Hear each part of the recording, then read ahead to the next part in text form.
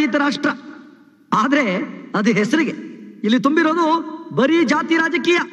ನೀವೆಲ್ಲೇ ಹೋದ್ರು ನಿಮ್ಮನ್ನು ಮೊದಲು ಕೇಳೋದು ನೀನು ಯಾವ ಜಾತಿ ಅಂತ. ಈ ಅನಿಷ್ಟ ನಮ್ಮಿಂದ ದೂರ ಆಗ್ಬೇಕು. ಹೀಗೆ ದೂರ ಆಗ್ಬೇಕಾದ್ರೆ ನಮ್ಮಲ್ಲಿರೋರ ಮನಸ್ಸು ಬೆಳಿಬೇಕು. ನಮ್ಮ ಮನಸ್ಸು ಚೆನ್ನಾಗಿ ಬೆಳಿಬೇಕು ಅಂದ್ರೆ ನಮ್ಮೆಲ್ಲರಿಗೂ ವಿದ್ಯೆ ಬೇಕು. ಆದ್ರಿಂದ ಉನ್ನತ ಶಿಕ್ಷಣ ಸಚಿವನಾದ ನಾನು ಕೆಲವು ಯೋಜನೆಗಳನ್ನು ಹಾಕೊಂಡಿದ್ದೇನೆ.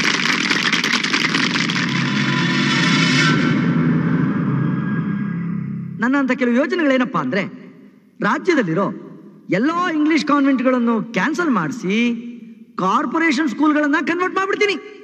ಇದರಿಂದ ಎಲ್ಲರೂ ಒಂದೇ ಸ್ಕೂಲಲ್ಲಿ ಓದ್ತಾರೆ, ಅವರ ವಿದ್ಯೆಯೂ ಒಂದೇ ಲೆವೆಲಲ್ಲಿ ಇರುತ್ತೆ. ಯೂನಿಫಾರ್ಮ್ ಹಾಗೆ. ಅಷ್ಟೇ ಅಲ್ಲ, ಸಮಾನತೆನೂ ಬೆಳೆಯುತ್ತೆ. ಆಮೇಲೆ ಪ್ರತಿ ವರ್ಷ ಹೊಸದಾಗಿ ಎಷ್ಟು ಜನ ಡಿಗ್ರಿ ಪಾಸ್ ಮಾಡ್ತಾರೋ, ಅಷ್ಟೇ ಜನ ಕೆಲಸದಲ್ಲಿರೋರನ್ನ ಕೆಲಸ ತೆಗೆದು ಬಿಡ್ತೀನಿ ಆ ಜಾಗಕ್ಕೆ ಹೊಸದಾಗಿ ಪಾಸ್ ಆಗಿರೋರಿಗೆ ಕೆಲಸ ಕೊಟ್ಬಿಡ್ತೀನಿ. ಇದರಿಂದ ನಮ್ಮ ರಾಜ್ಯದಲ್ಲಿ ನಿರುದ್ಯೋಗ ಸಮಸ್ಯೆನೇ ಇರೋದಿಲ್ಲ.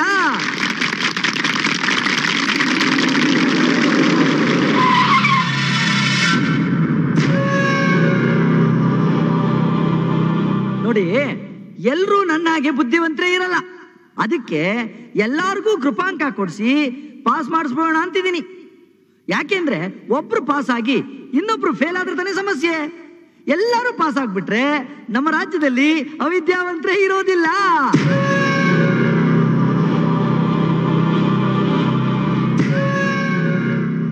ಇನ್ನೊಂದು ವಿಷಯ ಏನಪ್ಪಾ ಅಂದ್ರೆ, ಅದೇನೇ ಎಂಟ್ರೆನ್ಸ್ ಎಕ್ಸಾಮ್ ಅಂತೆಲ್ಲ ಇದೆಯಲ್ಲ, ಅದನ್ನೆಲ್ಲ ಕಿತ್ತಾಕಿಸ್ಬಿಡ್ತೀನಿ. ಯಾರಿಗೆ ಬುದ್ಧಿ ಇದೆಯೋ ಅವ್ರಿಗೆಲ್ಲ ಸೀಟ್ ಕೊಡಿಸ್ಬೋಣ ಅಂತಿದ್ದೀನಿ. ಯಾಕೆ ಅಂದ್ರೆ, ಇದರಿಂದ ಹೆಚ್ಚೆಚ್ಚಿಗೆ ಮೆಡಿಕಲ್ ಕಾಲೇಜು ಇಂಜಿನಿಯರ್ ಕಾಲೇಜ್ ಎಲ್ಲ ಕಟ್ಬೋದಲ್ಲ? ಅದಕ್ಕೆ? ಯಾಕೆಲ್ರು ಸುಮ್ನೆ ಹಂಗೆ ನಿಂತಿದ್ದೀರಾ? ಚಪ್ಪಾಳೆ ಹೊಡಿರಿ.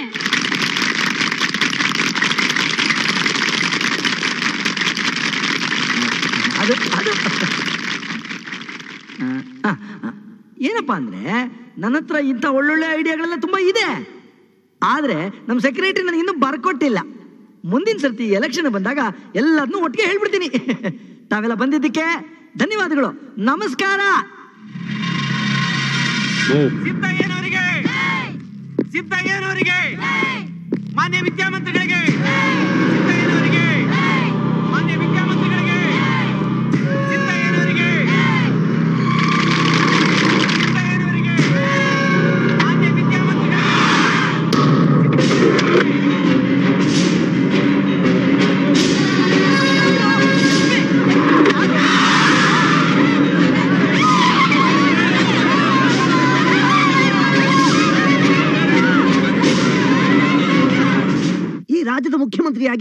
ನಾಚಿಕೆ ಆಗ್ತಾ ಇದೆ. ನಮ್ಮ ಸರ್ಕಾರದಲ್ಲಿ ಕಿಡ್ನಾಪ್. ಅದು ಮಾಮೂಲಿ ಮನುಷ್ಯ ಅಲ್ಲ. ಈ ರಾಜ್ಯದ ಒಬ್ಬ ಹೈಯರ್ ಎಜುಕೇಶನ್ ಮಿನಿಸ್ಟರ್ನ ಛೆ, ಇದರಿಂದ ನನಗೆ ಅರ್ಥ ಆಗ್ತಿದೆ. ನಮ್ಮ ರಾಜ್ಯದಲ್ಲಿ ಲ್ಯಾಂಡ್ ಆರ್ಡರ್ ಎಷ್ಟರ ಮಟ್ಟಿಗಿದೆ ಅಂತ. ಅಲ್ರಿ ಪೊಲೀಸ್ ಡಿಪಾರ್ಟ್ಮೆಂಟ್ ಅವರೆಲ್ಲ ಏನ್ರಿ ಮಾಡ್ತಾ ಇದ್ದಾರೆ? ನಿದ್ದೆ ಮಾಡ್ತಾ ಇದ್ದಾರೇನ್ರಿ ನಾಳೆ ಇದೇ ಪ್ರಶ್ನೆನ ಕ್ಯಾಬಿನೆಟ್ನಲ್ಲಿ ಆಪೋಸಿಷನ್ ಪಾರ್ಟಿಯವರಾಗ್ಲಿ ಅಥವಾ ಪ್ರಶ್ನೆಯವರಾಗ್ಲಿ ಕೇಳಿದ್ರೆ ಏನ್ರಿ ಉತ್ತರ ಕೊಡ್ಲಿ? ನಿದ್ದೆ ಮಾಡ್ತಿದ್ರು ಅಂತ ಹೇಳು. ರೀ ಮುಖ್ಯಮಂತ್ರಿಗಳೇ ಆ ಎಜುಕೇಶನ್ ಮಿನಿಸ್ಟರ್ನ ಕಿಡ್ನಾಪ್ ಮಾಡ್ತಾರೆ. ಅವನ್ ಸುತ್ತ ಕಾವಲಾಗ್ಬೇಕು ಅಂತ ನಮ್ಗೇನ್ ಕನ್ಸ ಬಿದ್ದಿತ್ತು? ಯಾವನ್ರಿ ಯಾವನ್ರಿ ಅವ್ನು ನಿಮ್ಗೆ ಪ್ರಶ್ನೆ ಆಗ್ದವನು ಆ ನನ್ನ ಮಗನ್ ಕರ್ಕೊಂಬಂದು ನಿಲ್ಲಿಸ್ರಿ. ಜೀವನ ಪೂರ್ತಿ ಅಮ್ಮ ತಾಯಿ ಅಂತ ಭಿಕ್ಷೆ ಬೇಡಕು ನಾಲ್ಗೆ ಇಲ್ದಿರಂಗ್ ಮಾಡಕ್ ಬಿಡ್ತೀನಿ ರೇ ಸ್ವಾಮಿ ಒಬ್ರಿಗೊಂದ್ ಮಿನಿಸ್ಟರ್ ಸೀಟ್ ಕೊಟ್ಟ ಮೇಲೆ ಅದ್ರಲ್ಲಿ ನೀವು ಮೂಗ್ ತೂರ್ಸೋದ್ ಬಿಟ್ಟು ಸುಮ್ನೆ ಇದ್ರೆ ಎಲ್ಲ ಸರಿಯಾಗಿರುತ್ತೆ. ಲ್ಯಾಂಡ್ ಆರ್ಡರ್ ಕೂಡ ಸಲೀಸಾಗಿರುತ್ತೆ. ಅಲ್ರಿ ಗೌಡ್ರೆ ನಾಳೆ ನಾಲ್ಕು ಜನ ಬೆಟ್ ಮಾಡಿ ತೋರ್ಸಿದ್ರೆ? ಜಾಡ್ಸ್ ಒದ್ಬಿಡಲ್ವಾ ಯಾವನ್ರಿ ಬೆಟ್ ಮಾಡಿ ತೋರ್ಸೋನು? ಆ, ನನ್ನ ಮಕ್ಕಳಿಗೆ ಓಟ್ ಹಾಕುವಾಗ ಬೆಟ್ ಹಿಡಿದ ಅಭ್ಯಾಸನೇ ಹೊರತು ಬೆಟ್ ಮಾಡಿ ತೋರ್ಸೋ ಅಭ್ಯಾಸ ಇಲ್ಲ. ಅದ್ರಲ್ಲೂ ಈ ಕೆಂಗೇಗೌಡನ ಮುಂದೆ ನಿಲ್ಲೋ ಗಂಡು ಹುಟ್ಟಿಲ್ಲ. ನಿಮ್ಮನ್ನು ಸೇರಿಸಿ. ನೋಡಿ ಸುಮ್ಮನೆ ಟೆನ್ಷನ್ ತಗೊಂಡು ಹೆಲ್ತ್ ಹಾಳು ಮಾಡ್ಕೋಬೇಡಿ. ಮಲ್ಯಾಗ ಅಡ್ಮಿಟ್ ಆಗಿ ರೆಸ್ಟ್ ತಗೊಳ್ಳಿ. ಮುಂದೆ ನಾನು ನೋಡ್ಕೋತೀನಿ. ಅಯ್ಯೋ ದೇವ್ರೆ.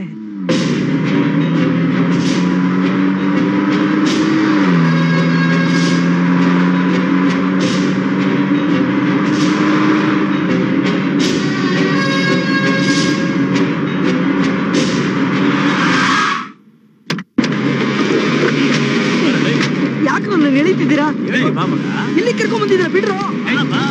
ನಮ್ ಕಣ್ಣಿಗೆ ಯಾಕೆ ಬಟ್ಟೆ ಕಟ್ಟಿದ್ದೀರಾ? ಬಿಡ್ರು. ಬಿಡ್ರು. ಏಯ್, ಬಿಡ್ರು.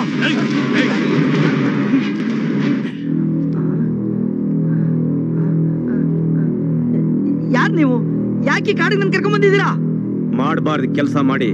ಸಮಾಜನ ಅಧೋಗತಿ ತಂದಿಳಿಸಿದಿಕ್ಕೆ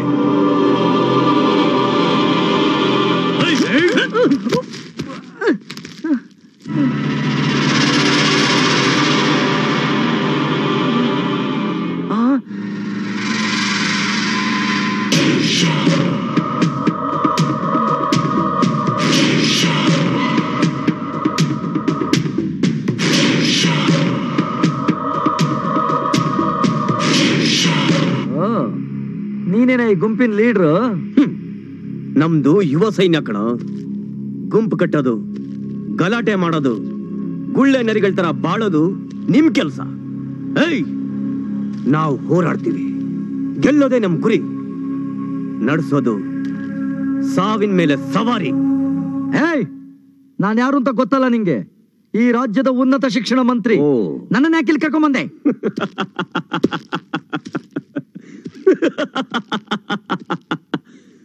ಸ್ವರ್ಗ ನರಕ ಅನ್ನೋದು ಮೇಲಿಲ್ಲ. ಎಲ್ಲ ಇಲ್ಲೇ ಇರೋದು. ಅದರಲ್ಲೂ ನಿನ್ನ ಪಾಪ ಪುಣ್ಯನ ಆಳದು ಅದಕ್ಕೆ ತಕ್ಕ ಪ್ರತಿಫಲ ಕೊಡೋದಿಕ್ಕೆ. ಅಂದ್ರೆ ನೀ ನನಗ್ ಶಿಕ್ಷೆ ಕೊಡ್ತೀಯಾ? ಹಾಗಾದ್ರೆ ನಿನ್ ಜೀವನದಲ್ಲಿ ಒಳ್ಳೆ ಕೆಲಸ ಮಾಡೇ ಇಲ್ಲ ಅನ್ನು. ವೆರಿ ಗುಡ್ ನೀನಾಗೆ ಒಪ್ಕೊಂಡಿಯಲ್ಲ. ಒಪ್ಕೊಳ್ಳೋದ? ನಾನೇನೋ ಅಂತ ತಪ್ಪು ಮಾಡೇ ಇಲ್ವಲ್ಲ? ಹಾಗಾದ್ರೆ ನಿನ್ನ ಎದೆ ಮುಟ್ಕೊಂಡು ಹೇಳು. ಅದಕ್ಕೇನು? ಮುಟ್ಟಿ ಪ್ರಮಾಣ ಮಾಡ್ತೀನಿ. ಸುಳ್ಳು ಹೇಳಿದ್ರೆ ಅದೇ ಜಾಗಕ್ಕೆ ಇದರಲ್ಲಿರೋ ಬುಲೆಟ್ಸು ನಿನ್ ಎದೆ ಸೀಳುತ್ತೆ. ಹ್ಮ್ ಈಗ ಹೇಳು. ಬೇಡ. ಅಂದ್ಮೇಲೆ ನೀನ್ ಮಾಡಿದ ತಪ್ಪು ಅಂತಾಯ್ತು. ಆದ್ರೂ ನಿನಗೆ ಶಿಕ್ಷೆ ಕೊಡೋದಕ್ ಮುಂಚೆ ನೀನ್ ಮಾಡಿರೋ ಕಚ್ಚಡ ಕೆಲಸಗಳು ಎಲ್ರಿಗೂ ಗೊತ್ತಾಗ್ಬೇಕು. ಎಂಟು ವರ್ಷದ ಹಿಂದೆ ನಿನ್ ಕಾರ್ಪೊರೇಟರ್ ಆಗಿದ್ದಾಗ ಒಂದ್ ಹುಡುಗಂಗೆ ಕಾಲೇಜ್ ಸೀಟ್ ಕೊಡಿಸ್ತೀನಿ ಅಂತ ಅರವತ್ ಸಾವಿರ ರೂಪಾಯಿ ಲಂಚ ಇಸ್ಕೊಂಡಿದ್ದೆ. ಅವನ್ ತಾಯಿ ತಾಳಿ ಅಡ ಇಟ್ಟು ಕೊಟ್ಟಿದ್ಲು. ನೀನು ಸೀಟ್ ಕೊಡಿಸ್ಲೇ ಇಲ್ಲ. ಅದಕ್ಕೆ ನಿನ್ ವಿರುದ್ಧ ತಿರುಗ್ ಬಿದ್ದಾಗ ತಾಯಿ ಮಗನಿಗೆ ಸಿಕ್ಕಿದ್ದು ಜೈಲ್ ಶಿಕ್ಷೆ. ಆರು ವರ್ಷಗಳ ಹಿಂದೆ ನೀನು ಎಂ ಎಲ್ ಎ ಆಗಿದ್ದಾಗ ನಿನ್ನ ಯಜಮಾನಿಕೆಯಲ್ಲಿ ಒಂದು ಸಣ್ಣ ಕ್ಲಿನಿಕ್ ಇತ್ತು. ನರ್ಸ್ ಟ್ರೈನಿಂಗ್ ಅಂತ ಬಂದು ಹುಡುಗಿರಲ್ಲಿ ಒಬ್ಳು ನಿನ್ನಿಂದ ರೇಪ್ ಆಗಿ ಸತ್ಲು. ಆ ಕೇಸ್ನ ಫೈಲ್ ಮಾಡಕ್ ಹೋದ ಅವಳು ಸ್ನೇಹಿತೆ ಮೇಲೆ ವೇಶ್ಯ ಪಟ್ಟ ಕಟ್ಟಿ ಹೊರಗಟ್ಟದೆ. ಮೂರು ವರ್ಷದಿಂದ ನೀನು ಮಿನಿಸ್ಟರ್ ಆಗೋದಿಕ್ಕೆ ಗಂಡನೇ ದೇವರು ಅಂತ ನಂಬ್ಕೊಂಡ್ಬಂದಿದ್ದ ನಿನ್ನ ಸುಂದರವಾದ ಹೆಂಡತಿನ ಡೆಲ್ಲಿಯಿಂದ ಬಂದಿದ್ದ ಹೈಕಮಾಂಡ್ಗೆ ತಲೆ ಹಿಡಿಯಕ್ ನೋಡಿದೆ. ಅದಕ್ಕೆ ಅವಳು ಒಪ್ಪದೇ ಇದ್ದಾಗ ಸ್ಲೀಪಿಂಗ್ ಡೋಸ್ ಕೊಟ್ಟು ಅವನ ಜೊತೆ ಮಲಗಿಸ್ದೆ. ಈ ವಿಷಯ ನಿನ್ ಹೆಂಡತಿಗೆ ಗೊತ್ತಾದ್ಮೇಲೆ ವಿಷ ಕುಡಿದು ಸತ್ತೋದಲ್ಲ ಹೇ ಐ ಧರ್ಮದ ಹೆಸರಲ್ಲಿ ಯಾವನೊಬ್ಬ ಕಿತ್ತೋದನ್ನು ತಂದು ಅವನಿಗೆ ಕಾವಿ ತೋರಿಸಿ, ಮಠ ಕಟ್ಸಿ, ಸ್ವಾಮೀಜಿ ಅಂತ ಹೆಸರಿಟ್ಟೆ. ಆ ಮಠದ ಹೆಸರಲ್ಲಿ ಮೆಡಿಕಲ್ ಕಾಲೇಜು, ಇಂಜಿನಿಯರಿಂಗ್ ಕಾಲೇಜು ಅಂತ ಸ್ಯಾಂಕ್ಷನ್ ಮಾಡಿಸ್ಕೊಂಡೆ. ಜನಗಳ ಕಣ್ಣಿಗೆ ಮಣ್ಣೆಚ್ಚೋಕೆ ಮಠದ ಹೆಸರು. ಆದ್ರೆ ಅದಕ್ಕೆ ಪವರ್ ಆಫ್ ಅಟಾರ್ನಿ ನಿನ್ನ second setup Vanitha Vasu. Merit ಇಲ್ದಿರೋ ಸ್ಟೂಡೆಂಟ್ಸ್ಗಳ ಹತ್ರ ಡೊನೇಷನ್ ತಗೊಂಡು ಎಲಿಜಿಬಲ್ ಸ್ಟೂಡೆಂಟ್ಸ್ಗಳ ಭವಿಷ್ಯಕ್ಕೆ ಬೆಂಕಿ ಇಟ್ಟ ಬೇವರ್ಸಿ. ಏಯ್, ನಿನ್ನಿಂದ ಇಷ್ಟೆಲ್ಲ ಆಗಿದೆ. ನಿನ್ನ ಹೀಗೆ ಸುಮ್ಮನೆ ಬಿಟ್ರೆ ನಾಳೆ ವಿಧಾನಸೌಧನೇ ನಂದು ಅಂತ ಬರ್ಸ್ಕೊಂಡ್ಬಿಡ್ತೀಯ ಸೊ ನೀನ್ ನಿನ್ ಬದುಕಿರ್ಬಾರ್ದು ಓ ಬೇಡ ಬೇಡ. ನಾನೇನು ಮಾಡಬೇಡ? ನನ್ ತಪ್ಪೆಲ್ಲ ಒಪ್ಕೊಂಡು ಅಪ್ರೂವರ್ ಆಗ್ಬಿಡ್ತೀನಿ. ನಿನಗೆ ಏನ್ ಶಿಕ್ಷೆ ಆಗುತ್ತೆ ಗೊತ್ತಾ? ಗೊತ್ತು. ಮರಣ ದಂಡನೆ. ಹಾ ಹಾ ಹಾ. ಅಂದ್ಮೇಲೆ ಸಾಯೋದಿಕ್ಕೆ ಅಲ್ಲಿವರೆಗೂ ಯಾಕೆ ಹೋಗ್ತೀಯ?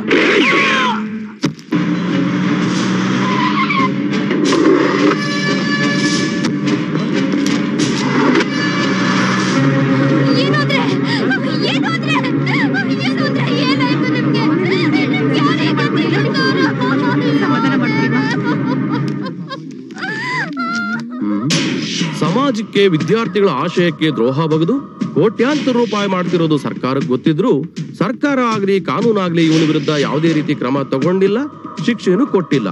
ನೂರಾರು ವಿದ್ಯಾರ್ಥಿಗಳ ಭವಿಷ್ಯನ ಹಾಳು ಮಾಡಿ ಸಾವಿರಾರು ಜನರ ಬದುಕನ್ನ ಬರಡು ಮಾಡಿರೋ ಇವನು ಬದುಕೋದಿಕ್ಕೆ ಹಕ್ಕನ್ನೇ ಕಳೆದುಕೊಂಡಿದ್ದಾನೆ ಎಂದು ತೀರ್ಮಾನಿಸಿ ಇವನಿಗೆ ಈ ಶಿಕ್ಷೆಯನ್ನು ಕೊಡಲಾಗಿದೆ ಯುವ ಸೈನ್ಯ. ಮುಗ್ಧ ಜನರಿಂದ ಮೇಲ್ಬಂದು ಅವ್ರ ಮೇಲೆ ಸಮಾಧಿನ ಕಟ್ಟಿ, ಆ ಸಮಾಧಿಯನ್ನು ಸಿಂಹಾಸನ ಮೇಲೆ ಕೂತ್ಕೊಂಡು ದರ್ಬಾರ್ ಮಾಡ್ತಿರೋ ಇಂಥ ಕೆಟ್ಟ ರಾಜಕಾರಣಿಗಳಿಗೆ ಇದೇ ಸರಿಯಾದ ಶಿಕ್ಷೆ. ಹ್ಯಾಟ್ಸ್ ಆಫ್ ಯುವ ಸೇನೆ.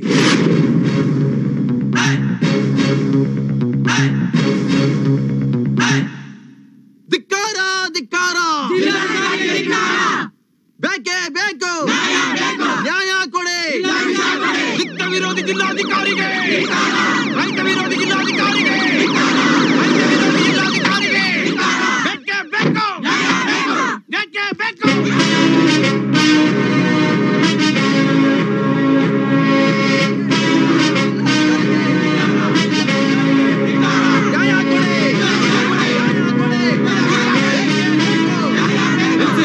ಜಿಲ್ಲಾಧಿಕಾರಿಗೆ ಇಟ್ ದಯವಿಟ್ಟು ನನ್ನ ಮಾತು ಕೇಳಿ.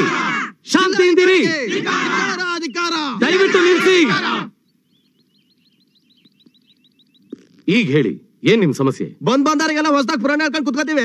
ನೀವ್ ಅದನ್ನ ಕೇಳ್ಕೊಂಡು ನಾವು ಕೊಟ್ಟು ಕಂಪ್ಲೇಂಟ್ ಎಲ್ಲ ಕುಂಡಿ ಹಾಕೊಂಡು ಕುತ್ಕೊಂಡ್ಬಿಡಿ. ರೀ ಬಾಯಿಗೆ ಬಂದಂಗ್ ಮಾತಾಡ್ಬೇಡ್ರಿ. ನಿಮ್ ಸಮಸ್ಯೆ ಪರಿಹಾರ ಆಗ್ಬೇಕಾದ್ರೆ ನಿಮ್ಮಲ್ಲಿ ಯಾರಾದ್ರೂ ಮುಖಂಡರು ಬಂದು ನನ್ ಜೊತೆ ಮಾತಾಡಿ. ಬನ್ನಿ. ಕೆಂಪಿರೋಣ ಏನ್ ಮಾಡೋದ ಈಗ? ಸಾಹೇಬ್ರು ಏನ್ ಹೇಳ್ತಾರ ಕೇಳ್ಕೊಂಡ್ ಬರಮ್ಮ. ಬನ್ನಿ ಕುರೋಣ ಬರ ಮಂಜ ಹೇಳಿ. ಏನ್ ನಿಮ್ ಪ್ರಾಬ್ಲಮ್ ಬುದ್ಧಿ ನಾವು ಬ್ಯಾಂಗ್ಳೂರ್ನಿಂದ ಬಂದಿದೀವಿ ಅದು ಬರ್ಗಾಲ್ ಪ್ರದೇಶ. ಅಲ್ಲಿ ಉಣ್ಣಕ್ಕೆ ಕುಡಿಯಕ್ಕೆ ಯಾರು ಇಲ್ಲ. ಓ ತಿಂಗಳು ನನ್ನ ಮಗ ಸೊಸೆ ಮೊಮ್ಮಕ್ಳು ಹಸು ತಡ್ಕೊಳ್ಳಾರ್ದೆ. ಈಸ ಕುಡು ಸತ್ಬಿಟ್ರು ಬುದ್ಧಿ. ನಮ್ಮೂರ್ ಸುತ್ತಮುತ್ತ ತೆಂಗಿನ ಬೆಳೆನೇ ಹೆಚ್ಚಿಗೆ ಬುದ್ಧಿ. ಇತ್ತೀಚೆಗೆ ಮರಗಳಿಗೆ ನುಸಿ ಪೀಡೆ ತಗೊಳ್ಕೊಂಡ್ಬಿಟ್ಟು ಫಸಲೆ ಬಿಡ್ದಂಗ ಆಗಿದೆ. ನಮ್ಗೆ ಅದನ್ನ ಬಿಟ್ರೆ ಜೀವನಕ್ಕೆ ಬೇರೆ ದಾರಿ ಇಲ್ಲ ಬುದ್ಧಿ. ಈಗ ನನ್ನಿಂದ ಏನಾಗ್ಬೇಕು? ಸರ್ ಸರ್ಕಾರ ಮುಖ್ಯಮಂತ್ರಿಗಳ ಪರಿಹಾರ ನಿಧಿಯಿಂದ ಪರಿಹಾರದ ಹಣ ಕೊಟ್ಟವ್ರೆ. ಅದನ್ನ ನಮಗ್ ತಲುಪಾಗಿ ಮಾಡಿದ್ರೆ ಸಾಕು. ಬಂದ್ರೆ ಖಂಡಿತ ಮಾಡ್ಕೊಡ್ತೀನಿ. ಬಂದೈತೆ ಸರ್? ಅದ್ ನಿಮ್ಗೆ ಗೊತ್ತು. ದುಡ್ಡು ಬಂದ್ರೆ ಈಸಿಯಾಗಿ ಗೊತ್ತಾಗೆ ಅದನ್ನ ತಗೊಳಕ್ಕೆ ಅಂತ ಟ್ರೆಜರಿಗೆ ಹೋದಾಗ ನಮಗ್ ಬಂದ್ರೆ ಹತ್ತು ಸಾವಿರ ರೂಪಾಯಿ ಪರಿಹಾರದ ಹಣಕ್ಕೆ ಐದು ಸಾವಿರ ರೂಪಾಯಿ ಲಂಚ ಕೇಳ್ತಾರೆ. ಎಲ್ಲಿಂದ ಕೊಡೋಣ ಸರ್? ಅಲ್ಲ ಇದನ್ ಮೊದ್ಲೇ ಯಾಕೆ ಹೇಳಿಲ್ಲ? ಹೇಳಕ್ ಬಿಟ್ರಲ್ವಾ? ನೀವ್ ಇದ್ದೀರೋಲ್ಲ ಅಂತ ತಿಳ್ಕೊಳಕ್ ಲಂಚ ನಿಮ್ ನೋಡಕ್ ಲಂಚ ದುಡ್ಡು ತಗೊಳಕ್ಕೂ ಲಂಚ. ಹಲೋ. ಸರ್. ಆ ಟ್ರೆಷರರ್ ನಂಬರ್ ಹೇಳಿ ಹ್ಮ್. ಬೋದೆ ನಮ್ಮನ್ ಕಾಯಿ ಬಿಡು ಮಾಡಿ ಬೋದೆ ನೀವು ಸಮಾಧಾನವಾಗಿರಿ ಸರ್ ಬರಕ್ ಹೇಳಿದ್ರಂತೆ. ಏನ್ರಿ? ಇವ್ರ ಹತ್ರ ಎಲ್ಲ ಲಂಚ ಕೇಳ್ತೀರಂತೆ? ಯಾವನ್ ಸರ್ ಹೇಳ್ದವನು? ನೀವೇನ್ ನಿಮ್ಮ ಅಪ್ಪ ಅಮ್ಮನ್ ಕೊಟ್ಟಿದ್ದ ಇಲ್ಲ ಲಂಚ ಕೊಟ್ಟಿದ್ದ? ರೈ ನೀವೆಲ್ರ ತಾನು ಹೋಗಿ ಲಂಚ ಕೇಳ್ತಿರಲ್ಲ? ನಾಳೆ ನಿಮ್ ಮಕ್ಳ ಹತ್ರ ಹೋಗಿ ನಾನೇ ನಿಮ್ಗೆ ಜನ್ಮ ಕೊಟ್ಟಿದ್ದು ಈ ಭೂಮಿಗೆ ತಂದಿದ್ದು ಬೆಳೆಸಿದ್ದು ಅಂತ ಲಂಚ ಕೇಳ್ತೀರಾ? ಇಲ್ಲ. ಯಾಕೆ ಹೇಳಿ? ಅವರು ನಿಮ್ ಮಕ್ಳು ಅಂತ. ಹಾಗೆ ಇರ್ಬೇಕ್ರಿ. ನಮ್ಮ ಮತ್ತೆ ರೈತರ ಮಧ್ಯೆ ಸಂಬಂಧ? ಅಲ್ರಿ. ಲಂಚ ತಗೊಂಡಿರೋ ದುಡ್ಡಿಂದ ಮನೆ ಹೆಂಡತಿ ಮೈ ಮೇಲಿರೋ ಒಡವೆ, ಬಟ್ಟೆ ಎಲ್ಲ ಆಗೋದ್ರೆ ನಾಳೆ ಲಂಚ ಕೊಟ್ಟೋನು, ಇದೆಲ್ಲ ನನ್ ದುಡ್ಡಿಂದ ತಗೊಂಡಿದ್ದು ಅಂತ ನಿಮ್ ಹೆಂಡತಿ ಕಡೆ ಕೈ ಮಾಡಿ ತೋರ್ಸಿದ್ರೆ ಆಗ ನೀವೇನ್ರಿ ಮಾಡ್ತೀರಾ? ಬಟ್ಟೆ ಬಿಚ್ಚಿ ಬೆತ್ತಲೆ ನಿಲ್ಲಿಸ್ತೀರಾ? ಇಲ್ಲ ನಿಮ್ ಹೆಂಡತಿನ ಅವನ ಜೊತೆ ಕಳಿಸ್ಕೊಡ್ತೀರಾ? ರೇ, ರೈತರು ನಮ್ ದೇಶದ ಆಸ್ತಿ ರೀ. ಇವರು ಕಷ್ಟ ಬಿದ್ದು ದುಡ್ದು, ಬೆಳೆ ಬೆಳೆದು, ಅದೇ ಬೆಳೆನ ನೀವು ತಿಂದು ತೇಗಿ, ಆಫೀಸ್ ಟೈಮ್ನಲ್ಲಿ ಎಸಿ ರೂಮ್ನಲ್ಲಿ ಕುತ್ಕೊಂಡು ನಿದ್ರೆ ಮಾಡ್ತಿರಲ್ಲ? ಅದ್ರ ಜೊತೆ ನಿಮ್ಗೆ ಇವ್ರು ಲಂಚ ಬೇರೆ ಬೇಕಾ? ನೋಡಿ ಇವ್ರು ಕೊಡ್ಬೇಕಾದ ಹಣನ ಇಮಿಡಿಯೇಟ್ಲಿ ಸಂದಾಯ ಮಾಡಿ. ಇಲ್ಲ ಅಂದ್ರೆ ನಿಮ್ ಸಸ್ಪೆನ್ಷನ್ ಆರ್ಡರ್ ಕೈಗೆ ಸೇರುತ್ತೆ. I am sorry sir your first and last von get out ನೋಡಿ ಸ್ಟ್ರೈಕ್ ಇಂದ ಯಾವ ಸಮಸ್ಯೆನೂ ಪರಿಹಾರ ಆಗಲ್ಲ. ಇನ್ ಮುಂದೆ ನಿಮ್ಗೆ ಏನಾದ್ರು ಪ್ರಾಬ್ಲಮ್ ಆದ್ರೆ ನನ್ನ ಹತ್ರ ಬನ್ನಿ. ಆಯ್ತು ಸರ್. ಬರ್ತೀವಿ ಸರ್ ಸೆಕ್ರೆಟರಿ ಇರಿಗೇಷನ್ ಫೈಲ್ ಕೊಡಿ. ಅಯ್ಯಯ್ಯೋ ಈ ಮನೇಲಿ ಕ್ಲೀನ್ ಅನ್ನೋದೇ ಇಲ್ಲ. ಕಮಲೆ? ಬಂದೆ ಮರೆ ಕಸ ಗುಡಿಸುವಾಗ ನಿನ್ ಕಣ್ ಬಿದ್ದು ಹೋಗಿತ್ತೇನೆ. ಏನೇ ಮುಖ ನೋಡ್ತಾ ಇದ್ಯಾ? ನಿನ್ನ? ಶೈಲಾ ಏನ್ ಮಾಡ್ತಿದ್ಯಾ ಹಬ್ಬದ ನಾನು ರೀ ನೀವ್ ಸುಮ್ನೆ ಇರ್ರಿ. ಇವಳಿಗೆ ಕೆಲ್ಸದ ಮೇಲೆ ಗಮನನೇ ಇಲ್ಲ. ಆಯ್ತು ಬಿಡು. ಹೋಗಮ್ಮ ಪರ್ಕೆ ತಗೊಂಡು ಕ್ಲೀನ್ ಮಾಡು. ಸರಿ ಬುದ್ಧಿ.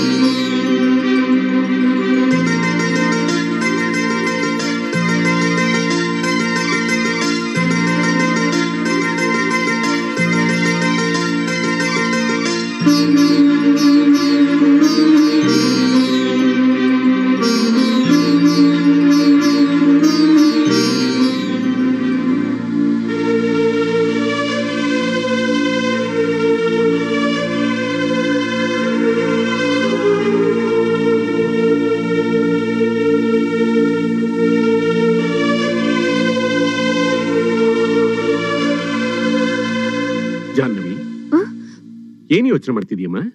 ಏನು ಇಲ್ಲ ಮಾವಯ್ಯ. ಯಾಕಮ್ಮ ಸುಳ್ಳು ಹೇಳ್ತಿದ್ಯಾ? ನೀನಿಲ್ಲ ಅಂತ ಅಂದ್ರು ಏನೋ ಇದೆ ಅಂತ ನಿನ್ನ ಮುಖಾನೇ ಹೇಳ್ತಾ ಇದೆ. ಅದಕ್ಕೆ ಹೇಳೋದು ಮುಖ ಮನಸ್ಸಿನ ಕನ್ನಡಿ ಅಂತ. ನನಗೆ ಗೊತ್ತಮ್ಮ ಮದುವೆ ಆಗಿ ಎಷ್ಟು ದಿನ ಆದ್ರೂ ಗಂಡ ಹೆಂಡತಿ ಇಬ್ರು ಎಲ್ಲೂ ಒಟ್ಟಿಗೆ ಹೊರಗಡೆ ಹೋಗ್ಲಿಲ್ವಲ್ಲ ಅನ್ನೋದೇ ತಾನೇ ನಿನ್ ಯೋಚನೆ. ಏನ್ ಮಾಡೋದಮ್ಮ? ಅವನಿಗೆ ಕೆಲ್ಸದ ಒತ್ತಡ? ನನ್ ಮಗ ವಿದ್ಯಾವಂತ ಆಗ್ಲಿ ಅಂತ ಐ ಎಸ್ ಓದಿಸ್ತೆ ಊರಿನ ಜವಾಬ್ದಾರಿ ಅವನ ತಲೆ ಮೇಲೆ ಬಿದ್ದು ಮನೇನೆ ಮರೆಯೋ ಹಾಗೆ ಬೆಳಿತಾನೆ ಅಂತ ನಾನು ಅನ್ಕೊಂಡಿರ್ಲಿಲ್ಲ. ಚಿಚಿ ನಾನ್ ಹಾಗಂತ ಹೇಳಿಲ್ಲ ಮಾವಯ್ಯ. ಇಷ್ಟಕ್ಕೂ ಇವಳು ಒಬ್ಳೇ ಇದ್ದಾಳ. ನಾವೆಲ್ಲ ಇಲ್ವಾ ಮನೇಲಿ ಬರ್ತಾನ್ ಬಿಡಿ. ಮಮ್ಮಿ! ಬರ್ತಾನೆ ಅಲ್ಲ ಬಂದಾಯ್ತು. Happy Diwali happy Diwali mummy thank you ನಾನ್ ಬೆಳಗ್ಗೆ ಆಫೀಸ್ಗೆ ಹೋಗ್ಬೇಕಾರೆ ನೀವಿಬ್ರು ಮಲಗಿದ್ರಿ. ಈಗ ನಾ ಬಂದಾಯ್ತಲ್ಲ ಎಲ್ರು ಸರಿ ಪಟಾಕಿ ಹೊಡೆಯೋಣ. Okay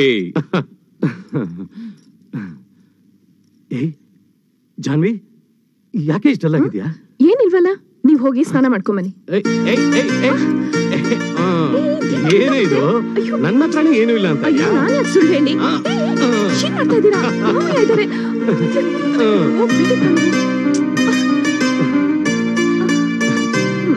Janvi I am really sorry darling ಇದ್ದಕ್ಕಿದ್ದಾಗೆ ರೈತರ ಸಮಸ್ಯೆ ಶುರು ಆಗೋಯ್ತು ಅದನ್ನ ಸಾಲ್ವ್ ಮಾಡಿ ಬರೋ ಅಷ್ಟರಲ್ಲಿ ಇಷ್ಟೊತ್ತಾಗ ಅಷ್ಟೇ ತಾನೆ. ಯಾ. ಅಪ್ಪ ಆದ್ರೆ ಒನ್ ಗುಡ್ ನ್ಯೂಸ್ ಏನದು? ನಾಳೆ ಸೆಕೆಂಡ್ ಸ್ಯಾಟರ್ಡೆ ನಾಡಿದ್ದು Sunday no duty no disturbance only the two of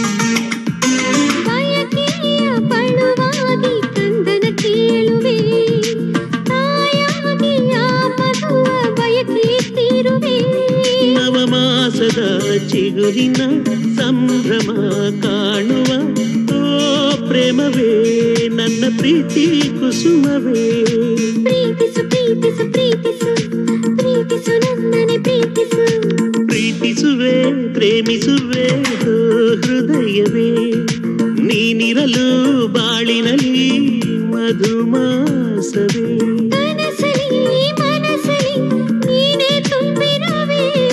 ಹೃದಯದ ಪದಗಳ ಹಾಡ ಹಾಡಿರುವೆ. ಪ್ರೀತಿಸು ಪ್ರೀತಿಸು ಪ್ರೀತಿಸು. ಪ್ರೀತಿಸು ನನ್ನನೆ ಪ್ರೀತಿಸು. ಪ್ರೀತಿಸುವೆ ಪ್ರೇಮಿಸುವೆ ಹೃದಯವೇ.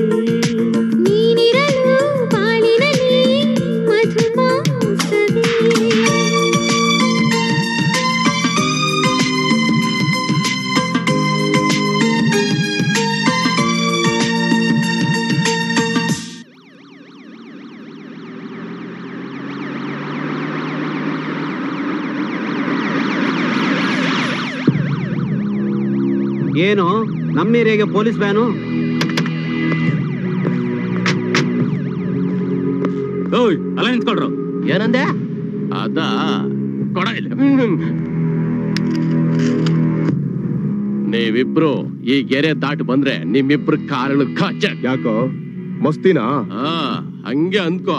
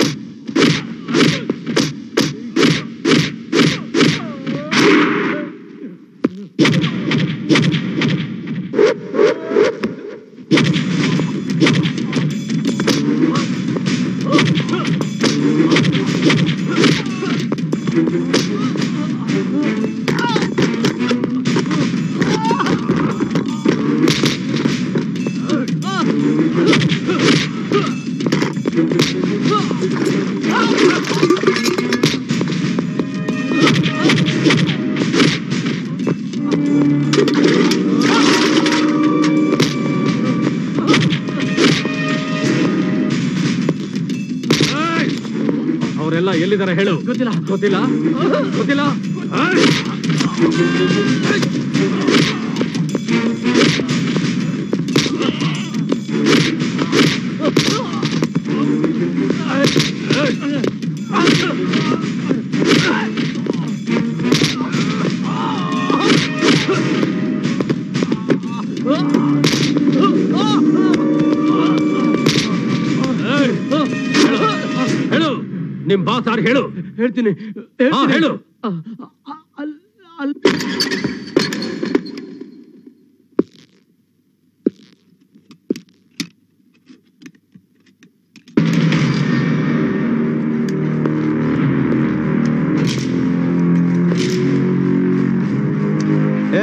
ಯಾರ ನೀನು ಏನಾಗಬೇಕಾಗಿತ್ತು ನೋಡಿದ್ರೆ ಗೊತ್ತಾಗಲ್ವಾ? ಹ್ಯಾಟು ಸ್ಟಿಕ್ಕು ಬೆಲ್ಟು ಬೂಟು ಇರಬೇಕಾದ್ರೆ ಪೊಲೀಸ್ನವನೇ ಇರ್ಬೇಕು. ಅಯ್ಯಯ್ಯಯ್ಯಯ್ಯೋ ಪೋಚಿ ನಮ್ಮ ಏರಿಯಾಕ್ಕೆ ಕಾಕಿ ಹಾಕಿದವರು ಅಂತ ಬರೋದು. ಆಟೋ ಡ್ರೈವರ್ಸ್ ಕಾರ್ಪೊರೇಷನ್ ಅವರು ಮಾತ್ರ. ಮೊದಲನೇ ಸಾರಿ ಪೊಲೀಸರು ಬಂದು ನಮ್ಮ ಏರಿಯಾ ಮೈಲ್ಗೆ ಆಗಿದೆ. ಬಂದ ಮೇಲೆ ಮುಗೀತು. ನಮ್ಮ ಏರಿಯಾನ ಗುಡಿಸಿ ಸಾರಿಸಿ ರಂಗೋಲಿ ಬಿಡಿಸಲೇಬೇಕು. ಅಂತದ್ದೇನು ಆಗಲ್ಲ. ಏನದು? ಇದಾ? ಬಾಂಬು? ವೈರ್ ಕಿತ್ತಾಕಿದ್ರೆ ಮೂವತ್ತು ಸೆಕೆಂಡ್ ಒಳಗಡೆ ಸುತ್ತ ಒಂದು ಕಿಲೋಮೀಟರ್ ಏರಿಯಾ ಕಲಾಸ್. ಇದು ಹ್ಯೂಮನ್ ಬೆಲ್ಟ್ ಬಾಂಬ್ ಸೊಂಟ ಕಟ್ಕೊಂಡು ಬಗ್ಗಿದ್ರೆ ಡಮಾರ್ ಅನ್ನಯ್ಯ ಪೊಲೀಸ್ ಆಫೀಸರ್ ಅಂತೀಯ? ಬಾಂಬ ಅಂದ್ರೆ ಗೊತ್ತಿಲ್ವಾ? ಯಾವಣಯ್ಯ ನಿಂಗೆ ಕೆಲಸ ಕೊಟ್ಟವನು? ಪಾರೋ, ನಮ್ಗೆ ಕೋಪ ಬರಕೆ ಮೊದ್ಲು ಇಲ್ಲಿಂದ ಕಳ್ಸ್ಕೊ. ಇಲ್ಲ ಅಂದ್ರೆ ನಿನ್ನ ಬಾಡಿಯಿಂದ ಪ್ರಾಣ ಕಳ್ಸ್ಕೊಳತ್ತೆ.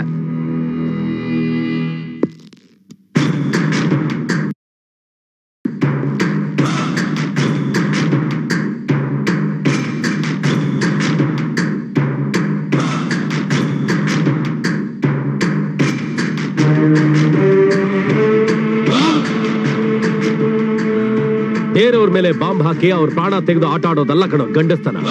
ಇದು ಗಂಡಸ್ತನ.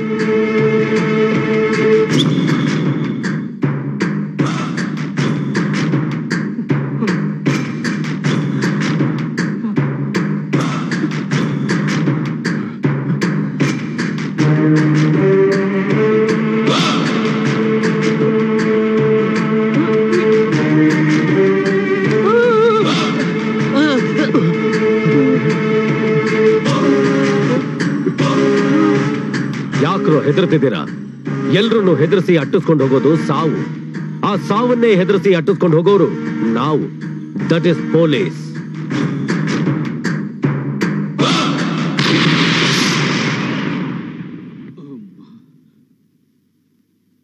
ಯಾಕ್ರೋ ಎಲ್ರು ರಿಲ್ಯಾಕ್ಸ್ ಆಗ್ಬಿಟ್ರೆ? ಸಾವಿನ ದೌಡೆಯಿಂದ ತಪ್ಪಿಸ್ಕೊಂಡ್ಬಿಟ್ವಿ ಅಂತಾನ? ಅದು ಬರೀ ಏಜೆಂಟ್ ಮಾತ್ರ. ನಿಮ್ ಪಾಲಿಗೆ ನಿಜವಾದ ಯಮ. ನಾನು.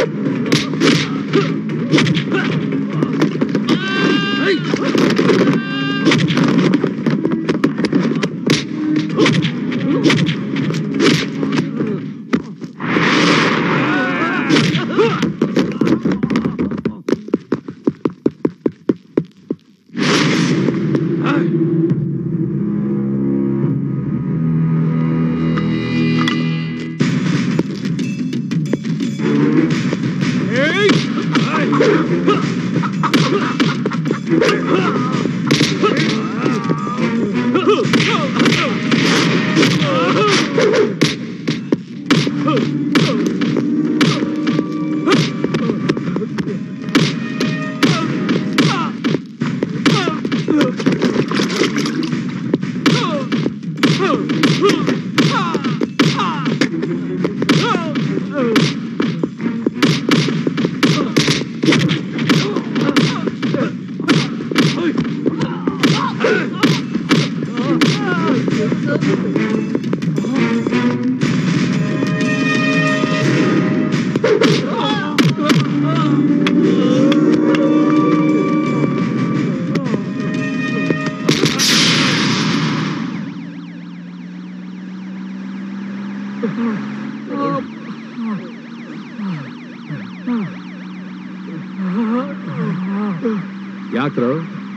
ಸುಸ್ತಾಗ್ತಾ ಇದೆಯಾ? ಡ್ರೈವರ್ ಯಾವ್ದಾದ್ರು ಡಾಬಾ ಹತ್ರ ಸ್ಟಾಪ್ ಮಾಡಿ